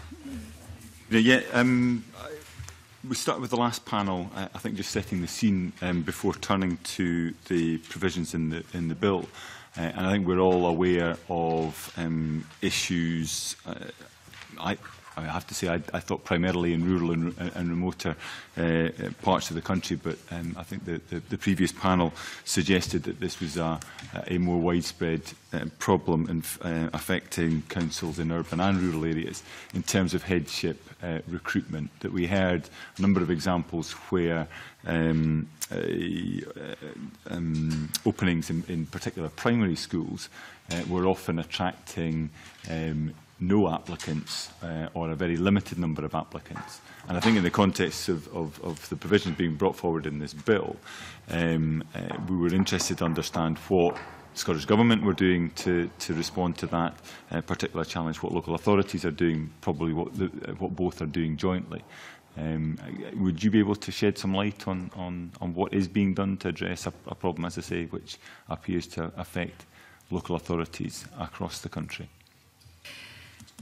Um, in terms of vacancies of head teachers, I mean, across the country, that uh, in terms of the most latest uh, or up-to-date information I've seen, it's 3.6%.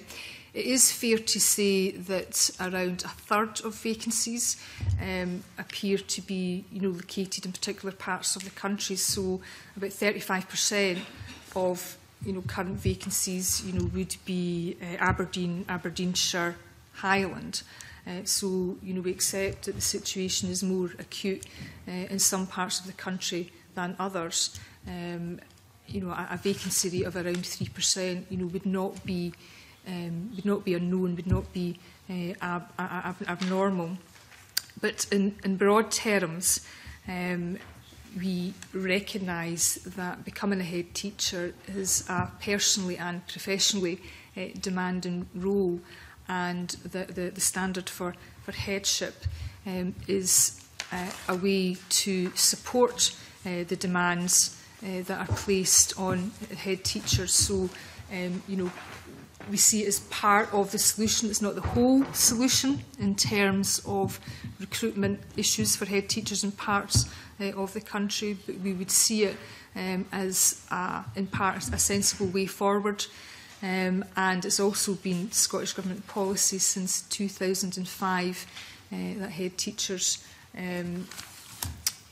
you know, should have the appropriate qualification. I, I mean, I, I don't think any of the previous panel thought that the standard for headship was part of the solution to the problem that we currently face, in the sense that the discussion was about how to accommodate those provisions in circumstances that are already quite challenging. When you talk about a vacancy rate of um, three, three and a bit percent. Um,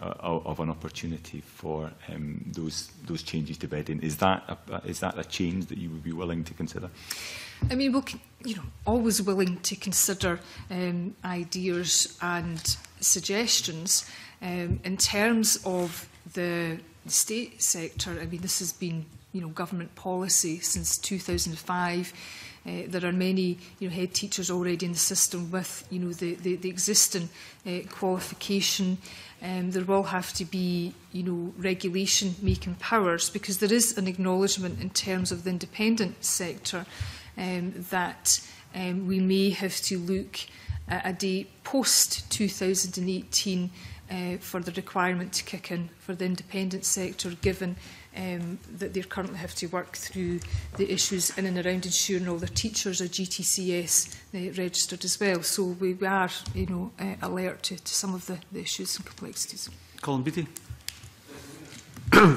Councillor Secretary, I'd like to look at one or two of the more practical issues uh, around uh, these appointments, and specifically about the appointments. Will it be necessary for prospective head teachers to hold the standard before they appointed to a post? Would they be given the opportunity to qualify, perhaps within a certain period afterwards?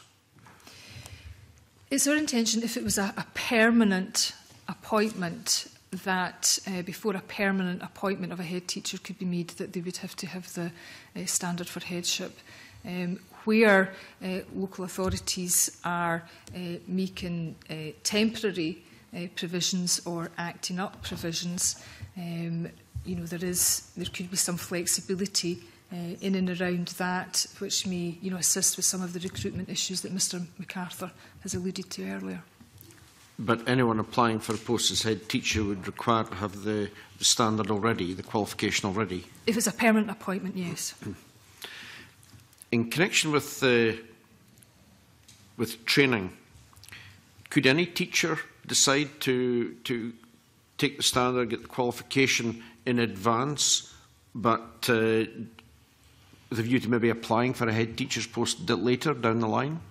I think, think that certainly happens just now because there are uh, more people with the existing uh, qualification than there are uh, head, people employed as head teachers with the, the qualification. So There are 1,600 people with the existing head teacher uh, qualification. Uh, 1,000 of them are in uh, head teacher uh, posts. Okay, uh, thank you. John Pentland. The Scottish Government proposed amendment could very well add a financial burden uh, and perhaps equality issues of access, especially for single parents, sole earners and possible candidates living in different parts of Scotland uh, for those who want to enter the programme. Now, Greg Dempster from the previous panel said that that financial burden should definitely not fall on the candidate.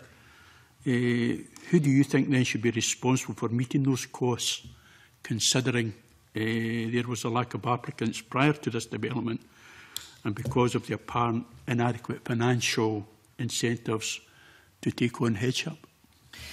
Well, the first cohort for the new uh, qualification, uh, there are nearly 140 uh, people participating in that and coming from you know 31 uh, local authorities. So I think that's a very encouraging uh, take-up rate. The Scottish Government uh, is prepared to meet the cost, uh, two-thirds uh, of the cost, Um, we would have you know, preferred to have you know, done that uh, in partnership with uh, local government and had a, three-way uh, sharing of costs. Uh, but you know, we're committed uh, to this process. We you know, wanted, um, did not want um,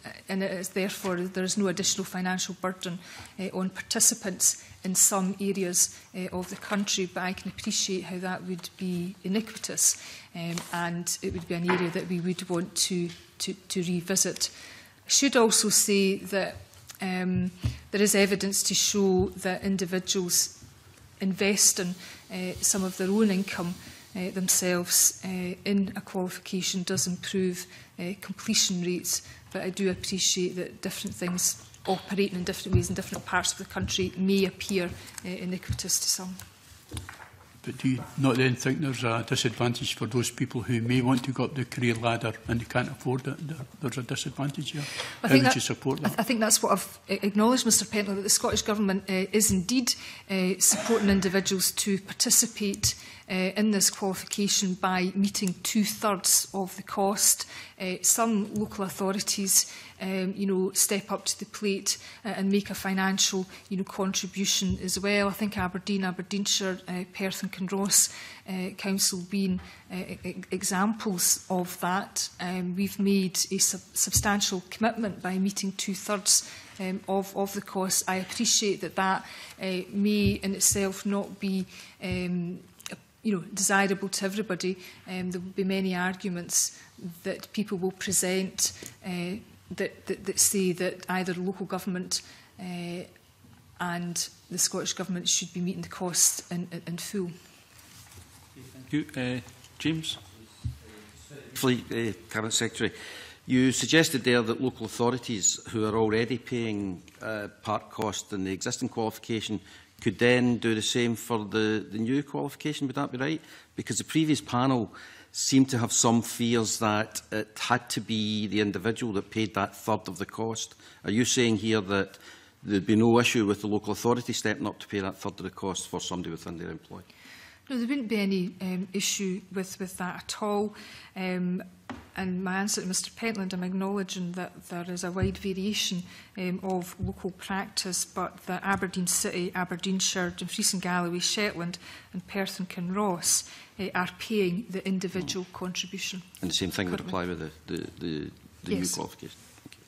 Okay. okay, Liz? Uh, thank you, uh, Convener. Uh, Cabinet Secretary, I ask very quickly, the independent sector has expressed some concern, not, not about the fact that there is to be uh, increasing professional qualification, which I think they've demonstrated already that they're increasing uh, GTCS uh, on that basis, but they do have concern uh, about this issue, which, uh, as was evidenced this morning, could restrict the pool of people that they may wish uh, to uh, appoint to head teacher posts, particularly in special schools, which have uh, very significant uh, specialisms that are required. Um, do you actually think it is the government's uh, right to tell governing boards what categories of people they could and couldn't appoint in the independent sector? So it's two parts to Ms Smith's uh, question. Uh, one of the reasons that uh, we may well indeed certainly look at a delayed implementation date for the independent sector is to enable the GTCS to be able to establish equivalency procedures um, so that if there were um, head teacher candidates uh, coming from abroad where they could demonstrate you know skills experience qualification that was equivalent to the standard for headship that there was a process by which that could be uh, re recognised um, I don't think it's unreasonable um, for uh,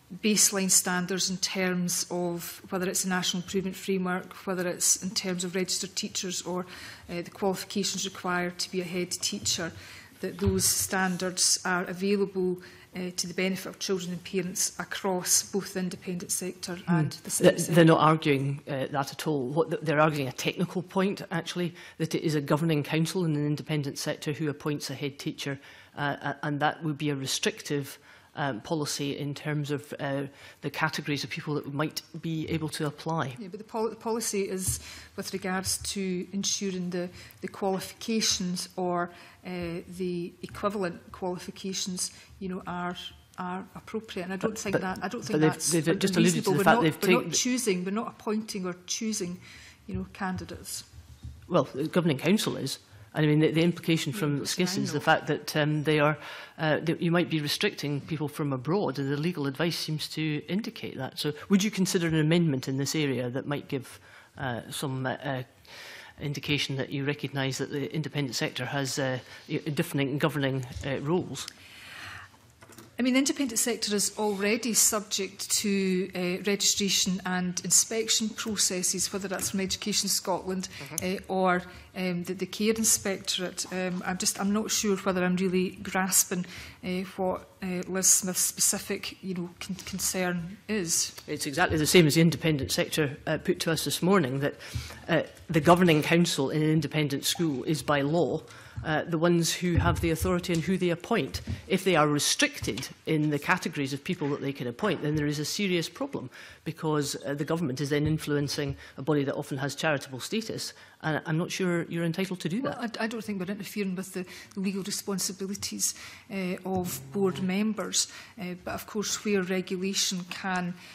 uh, clarify matters, I think that is always, always helpful. Okay, can I thank you very much, Cabinet Secretary and your officials for coming along this morning to give us evidence on these two proposed amendments, and mm -hmm. I'll suspend briefly. Mm -hmm.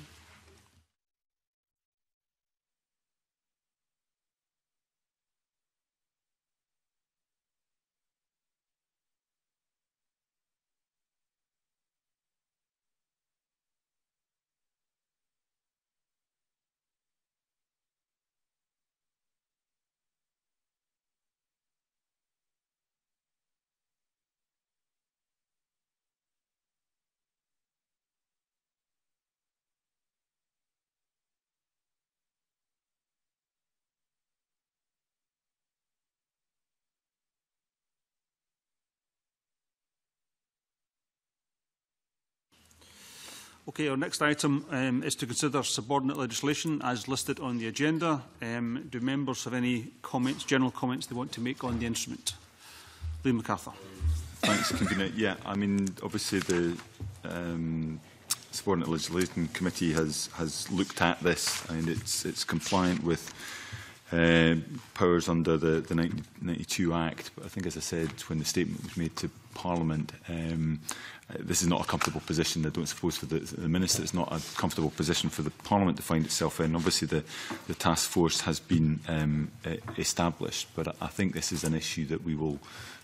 we will need to return to um, in, in due course. I don't know when the task force is due to report back, but there have to be lessons uh, learnt in this, um, that, that a, kind of nuclear option has been proposed here and establishing what kind of checks and balances there are leading up to that point where the Minister felt she had no option to take this decision would be, uh, I think, useful for this committee to be exploring.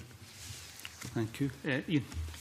Um, really just to uh, support uh, Liam MacArthur's point, it, seems to me that um, the subordinate legislation committee have considered this and uh, uh, you know it's, it's not clear that there's any great benefit in trying to reverse what has happened but it's such a serious matter both for the sector for the college uh, and of course for the individuals who were involved as well that it does seem to me uh, the obligation uh, on the committee that they do look at what has happened here in rather more detail at the very least to learn what lessons might be applied in the future. So uh, I think the committee really should commit to make sure that they, they do that. Okay, thank you. Any other comments? Um, I, I, well, I think, I mean, I, I agree with both those, those comments. I think, um, given we've got the task force, um, my understanding is they'll publish in the new year. Is that, yeah, that's, we think the timetable is. Um, I think it's very important that we go over this and certainly uh, uh, learn the lessons that can be Um, I would suggest to the committee, if you're agreeable, that we do return to this uh, in the new year in the context of the task, for task force's publication um, um, and look at it then. Are members agreeable to that? Yeah, agreeable that. Uh, in terms of the instrument itself, um, effectively, um, there are two issues. Uh, there's the general question, which we'll come to in a moment. But in terms of the committee's standing orders under Rule 10.3a, um, it requires that uh, we look at the Interpretation and Legislative Reform Scotland Act 2010. Um, so I want to ask the committee, in light of this the committee's standing order 10.3a, which requires the committee to consider whether the reasons given for breaching the 28-day rule are acceptable in the circumstances. Uh, do the committee agree that they are reasonable? Do you agree? Okay. Uh, and finally, does the committee agree to make no recommendation, therefore, to the Parliament on the instrument? Is that agreed? That is agreed. Thank you very much for that, and I close the meeting.